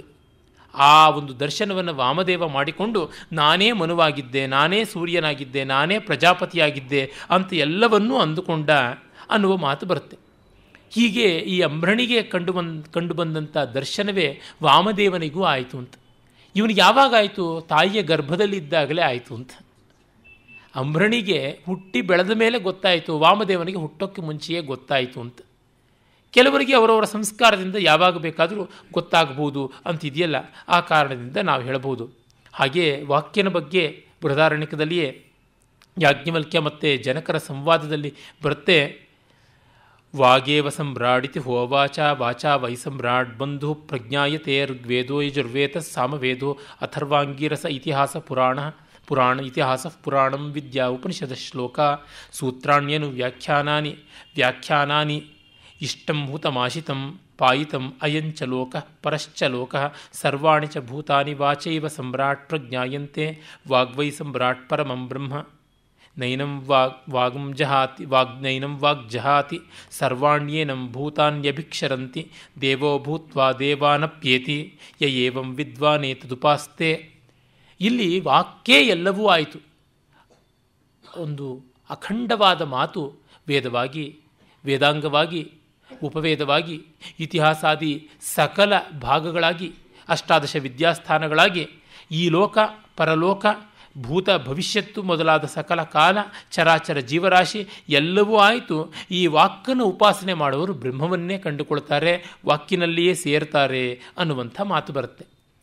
ಈ ಮಾತನ್ನು ಹೇಳಿದ್ದಕ್ಕೆ ಜನಕನಿಗೆ ಸಂತೋಷವಾಗಿ ಒಂದು ಸಾವಿರ ಆನೆಗಳ ಹಾಗಿರುವ ಗೂಳಿಗಳನ್ನು ನಿನಗೆ ಕೊಡ್ತೀನಿ ಅಂತ ಹೇಳ್ಬಿಟ್ಟು ಅಂತಾನೆ, ಹಸ್ತಿರ್ಷಭಂ ಸಹಸ್ರಂ ದದಾಮೀತಿ ಹೋವಾಚ ಜನಕೋ ವೈದೇಹ. ಆಗ ಯಾಜ್ಞವಲ್ಕ, ಆಯಿತು, ಕೊಡಿ ಅಂತಂದನ, ನ ಅನುಶಿಷ್ಯ ಹರೇತ್. ಶಿಷ್ಯನಿಗೆ ಸರಿಯಾಗಿ ಉಪದೇಶ ಮಾಡದೆ, ಶಿಷ್ಯನಿಂದ ಗುರುದಕ್ಷಿಣೆ ಸ್ವೀಕಾರ ಮಾಡಬಾರ್ದು ಅಂತಿದೆ. ಹಾಗಾಗಿ ನಾನು ಮುಂದೆ ಉಪದೇಶ ಮಾಡ್ತೀನಿ, ಇದನ್ನು ಸ್ವೀಕಾರ ಮಾಡೋಲ್ಲ ಕೀಪ್ ಇಟ್ ಅ ಸೈಡ್ ಅಂತ ಹೇಳ್ಬಿಟ್ಟು ಅಂತಾನೆ. ಅಂದರೆ ತಿಳುವಳಿಕೆ ನಮಗೆ ಪೂರ್ಣವಾಗಿ ಬಂದಾಗಲೇ ವಿದ್ಯಾಂತೆ ಗುರುದಕ್ಷಿಣ ಅಂತ. ವಿದ್ಯೆಗೆ ಮೊದಲೇನೆ ಅಡ್ವಾನ್ಸ್ ಫೀ ಕಟ್ಟಿಸ್ಕೊಳ್ಳುವಂಥದ್ದು ಅಲ್ಲ ಅಂತ.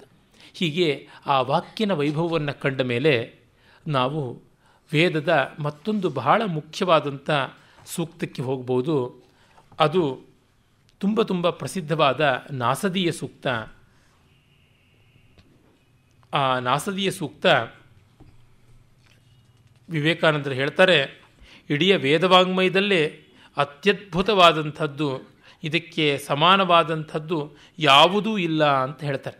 ಅಂದರೆ ಈ ಜಗತ್ತಿನ ಒಂದು ಸ್ವಾರಸ್ಯವನ್ನು, ಕ್ರಿಯೇಷನಿನ ಹಿಂದೆ ಇರತಕ್ಕಂಥ ಎಲ್ಲ ವ್ಯವಸ್ಥೆಯನ್ನು ಬಹಳ ಚೆನ್ನಾಗಿ ಹೇಳಿದೆ ಅಂತ ಹೇಳ್ಬಿಟ್ಟು, ಅದು ಚಿಕ್ಕದು, ತುಂಬ ಜಾಸ್ತಿ ಮಂತ್ರಗಳಲ್ಲಿ ಏನೂ ಇಲ್ಲ. ಆದರೆ ಅದರ ಸತ್ವ ಮಾತ್ರ ಬಹಳ ಬಹಳ ದೊಡ್ಡದಾಗಿರುವಂಥದ್ದು. ಅದನ್ನು ಕೆಲ ಮಂತ್ರಗಳಾದರೂ ನಾವು ನೋಡಬಹುದು. ಇದಕ್ಕೆ ವಿನಿಯೋಗ ಏನು? ಇವೆಲ್ಲ ಬ್ರಹ್ಮ ಪ್ರತಿಪಾದಕವಾದದ್ದು ಯಜ್ಞದಲ್ಲಿ ವಿನಿಯೋಗ ಕಾಣದೇ ಇರುವಂಥದ್ದು. ಅದಕ್ಕೆ ನೋಡಿ ಆರಂಭದಲ್ಲೇ ಸಾಯಣಾಚಾರ್ಯ ಹೇಳ್ತಾರೆ, ಪರಮೇಷ್ಠಿ ನಾಮ ಪ್ರಜಾಪತಿ ಋಷಿ ಅಂತ. ಇಲ್ಲಿ ಪ್ರಜಾಪತಿಯ ಋಷಿ ಹತ್ತನೇ ಮಂಡಲದ ನೂರ ಇಪ್ಪತ್ತೊಂಬತ್ತನೇ ಸೂಕ್ತ. ಮತ್ತು ದೇವತೆ ಯಾರು? ಅಂತಂದರೆ ಪರಮಾತ್ಮನೇ ಇಲ್ಲಿ ದೇವತೆ, ಪ್ರಜಾಪತಿ ಪರಮಾತ್ಮನೇ ಇಲ್ಲಿ ದೇವತೆಯಾಗಿದ್ದಾನೆ ಅನ್ನುವಂಥ ಮಾತು ಬರುತ್ತೆ. ಆಮೇಲೆ ಇದು ಭಾವವೃತ್ತಂ ಅಂತ. ಭಾವವೃತ್ತ ಅಂತಂದರೆ ನಮ್ಮ ಅಸ್ತಿತ್ವಕ್ಕೆ ಸಂಬಂಧಪಟ್ಟಿದ್ದು, ನಮ್ಮ ಜೀವ ಜೀವಾಳಕ್ಕೆ ಸಂಬಂಧಪಟ್ಟಿದ್ದು ಅಧ್ಯಾತ್ಮ ಸೂಕ್ತ ಇದು. ಇದಕ್ಕೆ ಕರ್ಮಕಾಂಡೀಯವಾದ ವಿವರಣೆ ಇಲ್ಲ, ವಿನಿಯೋಗವಿಲ್ಲ ಅಂತ. ಸಾಯಣರು ಯಜ್ಞೀಯವಾಗಿಯೇ ಎಲ್ಲವನ್ನ ವಿವರಣೆ ಮಾಡ್ತಾರೆ ಅಂತ ಅಲ್ಲ ಅನ್ನೋದಕ್ಕೆ ಇದು ಒಂದು ಒಳ್ಳೆಯ ದೃಷ್ಟಾಂತವಾಗಿದೆ. ನಾ ಸದಾಸಿ ನೋ ಸದಾಸೀತ್ತದಾನೀಂ ನಾಸೀದ್ರಜೋ ನೋ ವ್ಯೋಮ ಪರೋಯತ್ ಕಿಮಾವರೀವಹ ಕುಹಕಸ್ಯ ಶರ್ಮನ್ನಂಬ ಕಿಮಾಸೀತ್ ಗಹನಂ ಗಭೀರಂ. ನ ಸದಾಸೀತ್, ಆಗ ಸತ್ತನ್ನೋದು ಇರಲಿಲ್ಲ. ನ ಅಸದಾಸೀತ್, ತದಾನೀಂ, ಆಗ ಸತ್ತೂ ಇರಲಿಲ್ಲ, ಅಸತ್ತೂ ಇರಲಿಲ್ಲ ಅಂತ. ಇದಕ್ಕೆ ತುಂಬ ಜನ ಪಾಶ್ಚಾತ್ಯರು there no existence and there was nothing like that no existence ಅಂತ. ಈ ರೀತಿಯಾಗಿ ಇಲ್ಲ ಅನ್ನೋದು ಇರಲಿಲ್ಲ, ಇದೇ ಅನ್ನೋದು ಇರಲಿಲ್ಲ ಅಂತ ಹೇಳ್ಬಿಟ್ಟು ಅರ್ಥ ಮಾಡ್ತಾ, ಆ ಕಾರಣದಿಂದ ಎಷ್ಟೋ ಜನ ಇಲ್ಲಿ ಅಸದ್ವಾದವನ್ನು ಹೇಳ್ತಾ ಇದೆ. ಅಂದರೆ ನಾಸ್ತಿಕ್ಯವನ್ನು ಆಬ್ಸಲ್ಯೂಟ್ ನಿಹಿಲಿಸಮ್ಮಿಗೆ ಇಲ್ಲಿಯೇ ಬೀಜ ಇದೆ ಅಂತ ತೋರಿಸ್ತಾರೆ. ಆದರೆ ಅದು ಹಾಗಲ್ಲ. ವೇದಗಳಲ್ಲಿ ಸತ್ತನ್ನೋದಕ್ಕೆ ಡಿಫೈನ್ಡ್ ವ್ಯಾಕೃತ ಅನ್ನುವ ಒಂದು ಅರ್ಥ ಇದೆ. ಮ್ಯಾನಿಫೆಸ್ಟೆಡ್ ಅಂತ. ಅಸತ್ತನ್ನೋದಕ್ಕೆ ಅನ್ಮ್ಯಾನಿಫೆಸ್ಟೆಡ್ ಅನ್ನುವ ಅರ್ಥ ಕೂಡ ಉಂಟು. ಅದನ್ನು ನಾವು ಮರೀಬಾರ್ದು. ತದಾನೀಂ ಪ್ರಲಯ ದಶಾಯಾಂ ಅವಸ್ಥಿತಂ ಯದಸ್ಯ ಜಗತಃ ಮೂಲ ಕಾರಣಂ ತದಸತ್ ಶಶವಿಷಾಣವತ್ ನಿರೂಪಾಖ್ಯಂ ನಾಸೀತ್. ಅದನ್ನು ಹೇಳ್ತಾರೆ. ಅಸತ್ ಅಂದರೆ ಮೊಲದ ಕೊಂಬಿನಂತೆ ಇಲ್ಲದ್ದು ಇಲ್ಲ, ಇಲ್ಲದ್ದು ಇರಲಿಲ್ಲ ಅನ್ನುವ ಅರ್ಥ ಅಲ್ಲ. ಅದು ಕೇವಲ ಅವ್ಯಾಕೃತವಾದದ್ದು. ಯದ್ಯಪಿ ಸದಸದಾತ್ಮಕಂ ಪ್ರತ್ಯೇಕಂ ವಿಲಕ್ಷಣಂ ಭವತಿ, ತಥಾಪಿ ಭಾವಾಭಾವಯೋ ಸಹ ಅವಸ್ಥಾನಂ ಅಪಿ ಸಂಭವತಿ ಅಂತ ಹೇಳ್ತಾ, ಅದು ಏನಂತ ಹೇಳೋಕ್ಕಾಗೋಲ್ಲ ಅನ್ನುವ ಒಂದು ಸದಸದ್ ವಿಲಕ್ಷಣವಾದ ಸ್ಥಿತಿ ಅನ್ನೋದಕ್ಕೋಸ್ಕರವಾಗಿ ಅದನ್ನು ಹೇಳ್ತಾ ಇದ್ದಾರೆ. ಏವಮಪಿ ತದಾನೀಮಿತಿ ವಿಶೇಷಣ ಅನರ್ಥಕ್ಯಂ ವ್ಯವಹಾರ ದಶಾಯಾಮಪಿ ತದಾನೀಮ್ ಅಂತ ಹೇಳೋದಿಕ್ಕೂ ಆಗೋಲ್ಲ. ಆಗ ಏನೂ ಇರಲಿಲ್ಲ ಅನ್ನುವಾಗ ಕಾಲವೂ ಇರಲಿಲ್ಲ ಅಂತಲ್ವೇ ಅರ್ಥ. ಹಾಗಿದ್ದಾಗ ಆಗ ಅಂತನ್ನೋದಕ್ಕೂ ಅರ್ಥ ಬರೋದು ತಪ್ಪಾಗ್ಬಿಡುತ್ತೆ. ನೀವು ಅಸತ್ ಅನ್ನೋದಕ್ಕೆ ಶೂನ್ಯ ಅನ್ನುವ ಅರ್ಥ ಮಾಡಿಕೊಂಡ್ಬಿಟ್ರೆ, ತದಾನೀಮ್ ಆಗ ಅನ್ನೋದಕ್ಕೆ ಕಾಲ ಅನ್ನುವ ಅರ್ಥದಲ್ಲಿ ಹೇಗೆ ಬರುತ್ತೆ? ಈಗ ಆಗ ಅನ್ನೋದು ನಾವು ಹೇಗೆ ಹೇಳ್ತೀವಿ? ನಮ್ಮ ಕ್ಯಾಲೆಂಡ್ರಿಂದ, ನಮ್ಮ ಗಡಿಯಾರದಿಂದ ಹೇಳ್ತಾ ಇದ್ದೀವಿ. ಅಹೋರಾತ್ರಗಳ ನಮ್ಮ ಒಂದು ಅನುಭವದಿಂದ ಹೇಳ್ತಾ ಇದ್ದೀವಿ. ಆದರೆ, ಏನೂ ಇರಲಿಲ್ಲ ಅನ್ನುವಾಗ, ದೇಶಕಾಲಗಳು ಇರಲಿಲ್ಲ ಅಂತಲ್ವ ಅರ್ಥ? ಹಾಗಾಗಿ ತದಾನೀಮ್ ಅಂತ ಹೇಳೋ ಮೂಲಕವೇ ವೇದಕ್ಕೆ ಗತ್ಯಂತರ ಇಲ್ಲದೆ ಈ ಮಾತುಗಳನ್ನು ಆರೋಪ ಮಾಡಿಕೊಂಡಿದೆ ಅಧ್ಯಾಸ ಮಾಡಿಕೊಂಡಿದೆ, ದೇಶಕಾಲಗಳನ್ನು ಆರೋಪ ಮಾಡಿಕೊಂಡಿದೆ. ಅಥ ವ್ಯಾವಹಾರಿಕ ಸತಾಂ ಪೃಥಿವ್ಯಾದೀನಾಂ ಭಾವಾನಾಂ ವಿದ್ಯಮಾನತ್ವಾತ್ ಕಥಂ ನೋ ಸದಿತಿ ನಿಷೇಧ ತತ್ರಾಹ ನಾಸೀದ್ರಜ ಇತ್ಯಾದಿ. ಅಲ್ಲಿ ಪೃಥ್ವಿ ಇತ್ಯಾದಿಗಳು ಇರಲಿಲ್ಲ, ಧೂಳು ಇರಲಿಲ್ಲ ಅಂತ. ಭೂಮಿ ಹೋಗಲಿ ಒಂದು ಧೂಳು ಕಣವೂ ಇರಲಿಲ್ಲ. ಮತ್ತು ಇನ್ನು ಏನಾಗಿತ್ತು ಆವಾಗ? ಮೇಲೆ, ಕೆಳಗೆ ಇತ್ಯಾದಿ ಯಾವುದೂ ಕೂಡ ಇರಲಿಲ್ಲ. ಆಕಾರ ಅನ್ನುವಂಥದ್ದು ಯಾವುದೂ ಇರಲಿಲ್ಲ. ಕಿಮಾವಿರಾವಿ ಕಿಮಾವೆ ಕಿಮಾವರಿ ಕಿಮಾವರಿ. ಅಂತಂದರೆ, ಇನ್ನು ಯಾವುದಾದ್ರೂ ಬೆಳಕಿತ್ತ ಕಿಂ ಯಾವುದಾದ್ರೂ ಒಂದು ಕಾಂತಿ ಇತ್ತ? ಇಲ್ಲ. ಯಾವುದೂ ಆಗ ಇರಲಿಲ್ಲ. ಮತ್ತು ಕಿಂ ಅಂಬಹ, ಗಹನಂ, ಗಭೀರಂ, ನೀರು ಆಳವಾದದ್ದು. ಅದೇನಾದರೂ ಇತ್ತ? ಅದು ನಮಗೆ ಗೊತ್ತಿಲ್ಲ. ಏನಾದರೂ ಇತ್ತ? ಇದು ಪ್ರಶ್ನೆಯಿಂದ ಶುರುವಾಗಿದೆ. ಅಂದರೆ, ಯಾವುದೂ ಇತ್ತು ಇಲ್ಲ ಅಂತ ಹೇಳುವಂಥ ಕಲ್ಪನೆ ಮಾಡುವ ಮನೋಬುದ್ಧಿಗಳು ಇಲ್ಲದ ಕಾಲ ಆ ಮನೋಬುದ್ಧಿಗಳ ಫಲಿತವಾದ ದೇಶಕಾಲಗಳು ಇಲ್ಲದ ಒಂದು ಸ್ಥಿತಿ. ಸ್ಥಿತಿ ಅನ್ನುವುದು ಪ್ರಶ್ನಾರ್ಹವಾದುವಂಥ ಒಂದು ಗತಿ. ಏನು ಮಾಡೋಣ? ಭಾಷೆಗೆ ಇದಕ್ಕಿಂತ ಹೆಚ್ಚು ಶಕ್ತಿ ಇಲ್ಲವಾದ್ದರಿಂದ ಹೀಗೆ ಹೇಳಬೇಕಾಗಿದೆ. ಅದು ಬಿಟ್ಟು ಬೇರೆ ಏನೂ ತೋರೋದಿಲ್ಲ. ರಘುವಂಶದಲ್ಲಿ ಬಹಳ ಚೆನ್ನಾಗಿ ಹೇಳ್ತಾನೆ ಕಾಳಿದಾಸ, ದೇವತೆಗಳು ಹೋಗಿ ಮಹಾವಿಷ್ಣುವನ್ನು ಸ್ತೋತ್ರ ಮಾಡಿಬಿಟ್ಟಿದನು ಇಲ್ಲಿಗೆ ನಾವು ನಿಲ್ಲಿಸ್ತಾ ಇದ್ದೀವಿ. ಅದರ ಅರ್ಥ ನಿನ್ನ ಗುಣ ಮುಗೀತು ಅಂತಲ್ಲ, ನಮಗೆ ಸುಸ್ತಾಯಿತು ಅಂತ ಗುಣ ನಾಮೀಯತ್ತಯ್ಯ ಅಂತ. ನಮಗೆ ಸಾಕಾಯಿತು ಅಂತ. ಎಲ್ಲಿಯೋ ಒಂದು ಕಡೆ ಫ್ರೆಂಡ್ ನಮ್ಮ ಮನೆಗೆ ಬಂದಿದ್ದಾನೆ, ಅವನನ್ನು ಅವ್ರ ಮನೆಗೆ ಬಿಟ್ಟು ಬರಬೇಕು.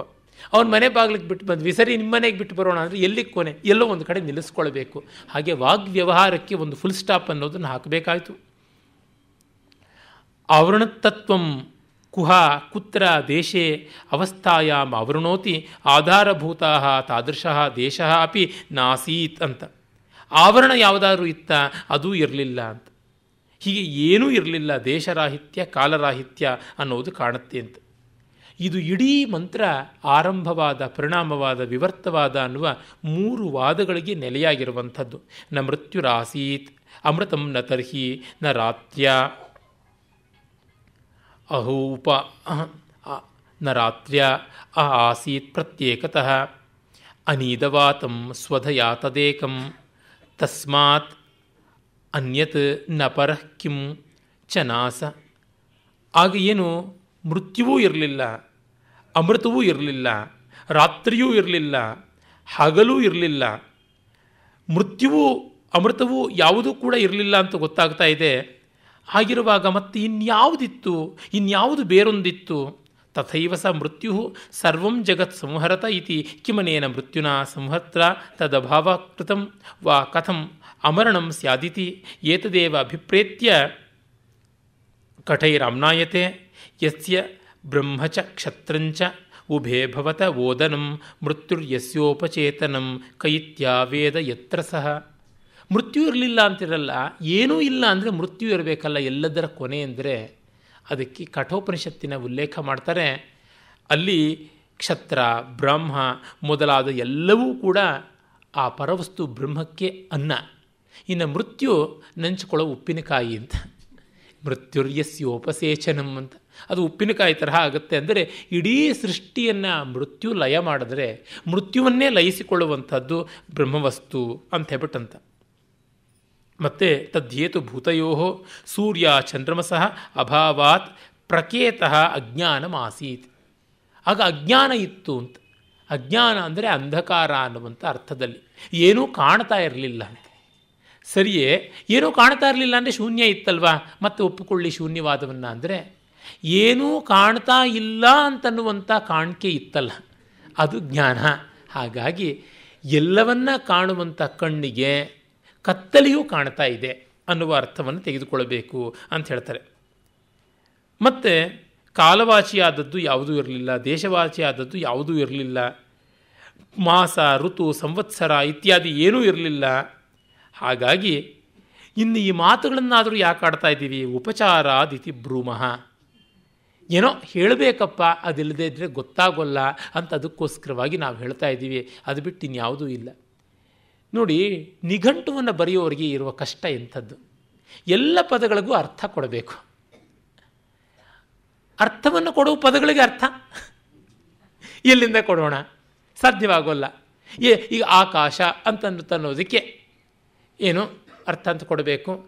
ನಭ, ಗಗನ ಅಂತ ಅರ್ಥ ಕೊಡ್ತಾನೆ. ಗಗನ ಅನ್ನೋ ಜಾಗದಲ್ಲಿ ಆಕಾಶ ಅಂತ ಅರ್ಥ ಕೊಡ್ತಾನೆ. ಆಕಾಶಕ್ಕೆ ಗಗನ ಅರ್ಥ, ಗಗನಕ್ಕೆ ಆಕಾಶ ಅರ್ಥ ಅಂದರೆ ಏನು? ಹಾಗೆ ಅರ್ಥವಾಗೋದು. ಅಕ್ಸೆಪ್ಟೆನ್ಸ್ ಇಲ್ಲದೆ ಯಾವುದೂ ಗೊತ್ತಾಗೋಲ್ಲ. ಎಲ್ಲಕ್ಕೂ ತರ್ಕ ಮಾಡೋಕ್ಕಾಗೋದಿಲ್ಲ. ಮಕ್ಕಳ ಭಾಷೆಯನ್ನು ಹೇಗೆ ಗ್ರಹಿಸ್ತಾರೆ? ಹಿಡ್ಕೊಂಡು ಬಿಡ್ತಾರೆ ಹಾಗೇನೆ. ಇದ್ಯಾತಕ್ಕೆ ಈ ಪದವನ್ನು ಹೀಗೆ ಉಚ್ಚಾರ ಮಾಡಬೇಕು ಅಂತ ಮತ್ತೆ ಅವರಿಗೆ ಬುದ್ಧಿ ಚಿಗುತಾಗ ಕೇಳ್ತಾರೆ ಹೊರತು. ಮುಂಚೆ ಅದಕ್ಕೆ ಮಗುವಿಗೆ ಹತ್ತನೇ ತಿಂಗಳವರೆಗೂ ಮಾತು ಬರೋಲ್ಲ. ಆದರೆ ಕಿವಿ ಕೇಳೋದಿಲ್ಲ ಅಂತೇನು ಇಲ್ವಲ್ಲ, ಎಲ್ಲವನ್ನು ಸಂಗ್ರಹ ಮಾಡಿಕೊಳ್ಳುತ್ತೆ. ಹೀಗಾಗಿ ಅದು ಸಂಗ್ರಹ ಮಾಡಿಕೊಂಡ ಶಬ್ದವನ್ನೇ ಮತ್ತೆ ಉದ್ಗಾರ ಮಾಡುತ್ತೆ. ಹೀಗೆ ಕಂಡಾಗ ನಮಗೆ ಗೊತ್ತಾಗುತ್ತೆ, ಅಂಗೀಕಾರ ಅನ್ನುವಂಥದ್ದು ಚೆನ್ನಾಗಿ ಇಲ್ಲಿ ಬೇಕಾಗಿರುವಂಥ ಒಂದು ಅಂಶ ಅಂತ. ತುಂಬ ವಿಸ್ತಾರವಾದ ವ್ಯಾಖ್ಯಾನವಿದೆ. ಮುಂದೆ ನೋಡೋಣ.